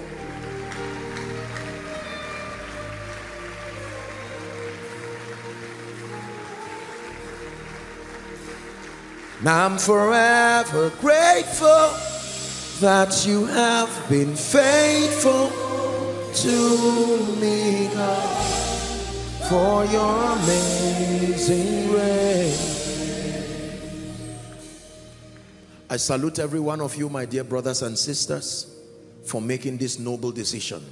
Just like I taught, you have partnered with God's grace. Now you have done your own part by coming there's only one more step left. The prayer of salvation to repeat after me. Then the giver of grace will bring you Zoe, his life. And that life becomes yours at the instance of your faith demonstrated in and through your coming and your confession. Some of you are crying. Don't be afraid and don't be ashamed. This is a family of faith. We are recipients of God's grace. Are you ready to pray? Please lift your right hand before Jesus, whose office grace is administered.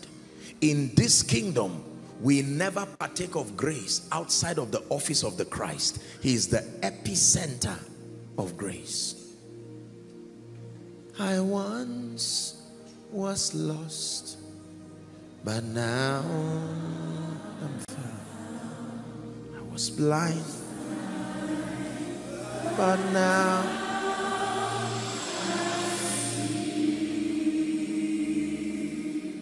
everyone here in front of me and those at the overflows, the basement, outside, following online, please repeat after me very loud and let it be from the depth of your heart, knowing that Jesus is here and he's listening to you. The grace that saves has brought you and is ready to administer salvation say lord jesus One more time, say, Lord Jesus, I believe in your word. I believe in your grace. Tonight, I have heard that your grace can save. So I come to you just as I am. I ask you to forgive my sins. I ask you tonight to be my Savior, my Lord, and my King. I declare that I am a recipient of eternal life. I declare that I receive the abundance of grace and the gift of righteousness. I declare that my sins are forgiven. The power of sin, Satan, hell, and the grave is broken from my life. From today, I go forward ever and backward never. Amen and hallelujah. Keep your hands lifted. Father, the Bible declares that whoever will come to him, you will in no wise cast away. These ones have come. I pray by the authority of scripture, I declare that your sins are forgiven. From today, even by the authority of scripture, it says, therefore, if any man is in Christ, he's a new creature. All things have gone. Behold, all things become new. I declare that you start afresh with the Lord from today. I declare that the power of Satan, sin, hell, and the grave is broken from your life. You are members of the fold of faith, blood washed recipients of eternal life. I commend you to the ministry of the word and the ministry of the spirit. That in the name of Jesus, by the twofold ministry of the word and the spirit, you will grow in grace.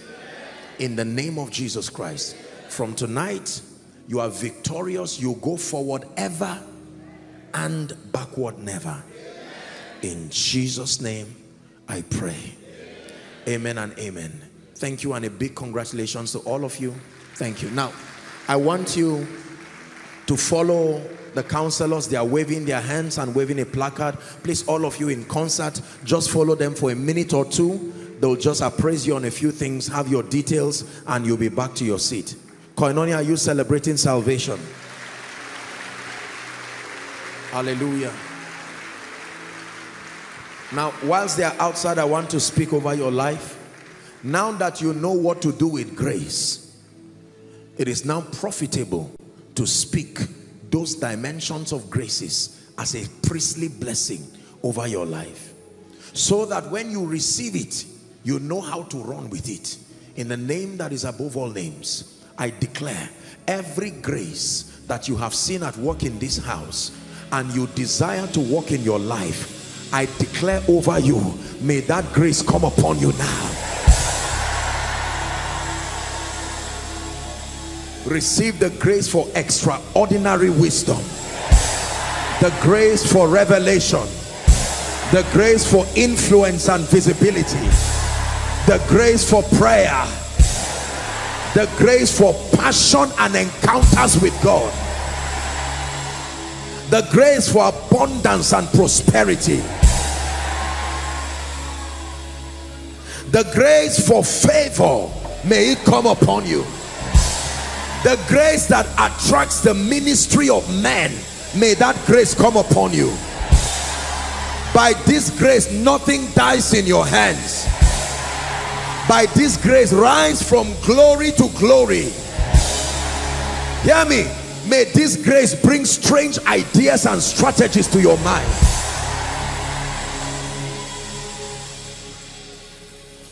That from tonight as you walk out of any of these doors you walk conscious of the fact that I am full of God's grace.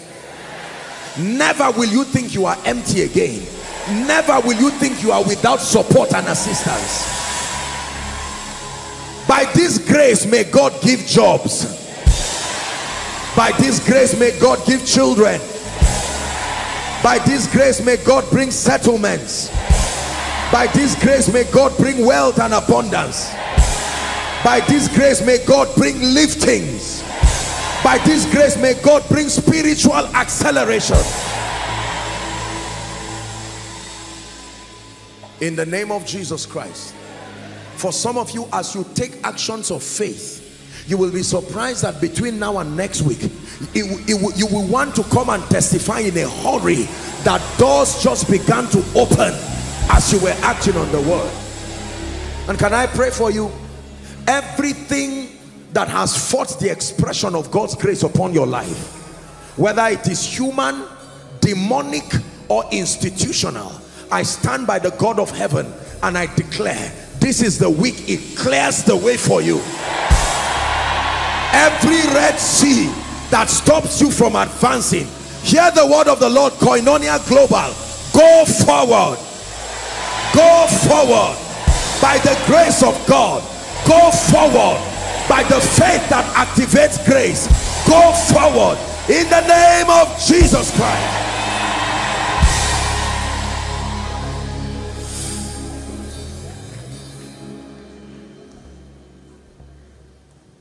And everything you need to do to cooperate with this grace that you are not aware of may the spirit of revelation bring that knowledge to you. Every step of obedience you need to take today tomorrow next tomorrow that will accelerate your results spiritually and otherwise may the knowledge on what to do come to you now. For some of you like Daniel it will come as you understand by books. Receive it in Jesus name. For some of you the Lord will send his angel to come and reveal to you like he did to Daniel. For some of you in dreams and visions like he showed Peter God will reveal to you what to do.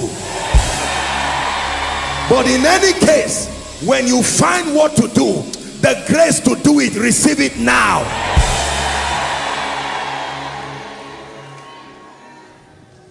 Hallelujah. Wave your hands and give Jesus praise for tonight we bless you Lord because you are holy. We thank you because you are faithful. Let there be a performance from this understanding. Let our lives command fearful kingdom results to the glory of the name of the Lord. May we mentor nations by the results that come out of this understanding. May they know Jesus through our lives. May they know Jesus through our results. In Jesus name I pray. Hallelujah. Now just one important announcement. Thank you for your patience. One important announcement. By next week we we're going to announce i know that there are several of you here who have been wanting to join the workforce. You're here and there is a passion to join the workforce. You would notice that we've delayed receiving new people because we were just starting in this city and we wanted to build that spiritual culture first before we receive new people. So by next week when i come up before the message we're going to announce the departments that are open. Please open up your heart.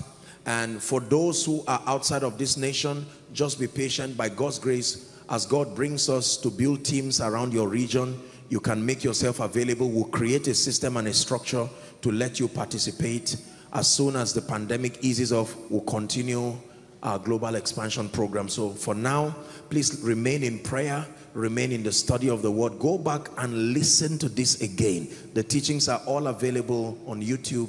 Make sure you get it and then invite others to be part of this. Don't create controversy around. Knowledge should not create controversy. It's for your learning so that it brings transformation. You will act in honor to that transformation and then you will obtain results. Let's share the grace may the grace of our lord jesus christ the love of god the sweet fellowship of the Holy Spirit, let it rest and abide with us now and forevermore.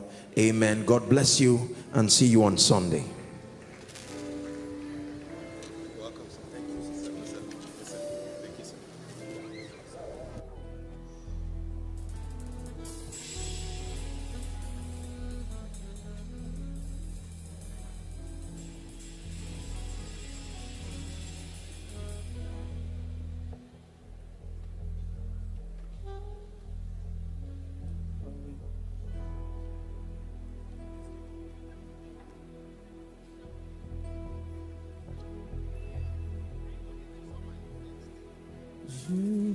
Have rescued my life.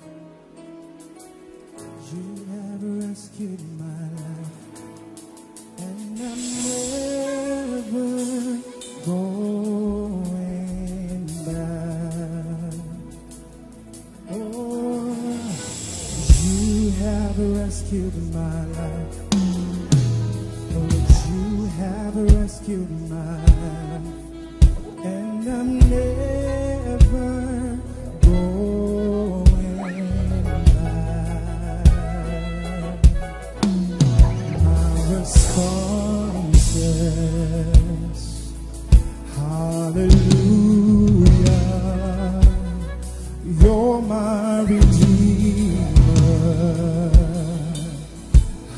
Hallelujah.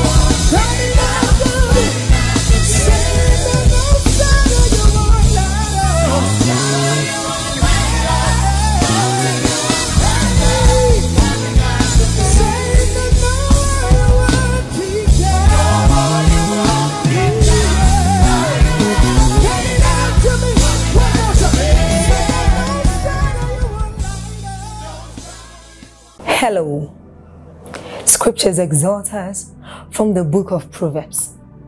It says, My son, attend to my sayings, incline thy ears to my words. Let them not depart from thy eyes, and keep them in the midst of thee. As you have listened to this message, we believe that you are going to reap the blessings thereof if you attend to these words as well. That you will keep these words in the midst of your heart. That no matter the circumstance, your eyes are going to be fixed on these words. And as you have been blessed, we will tell you to share this message. Be an evangelist by sharing to others to be blessed. And then subscribe to this channel for us because we have loads of videos, we have loads of content that is going to make you blessed, that is going to set you on course, that is going to set you ablaze. And don't forget to like for us. Thank you.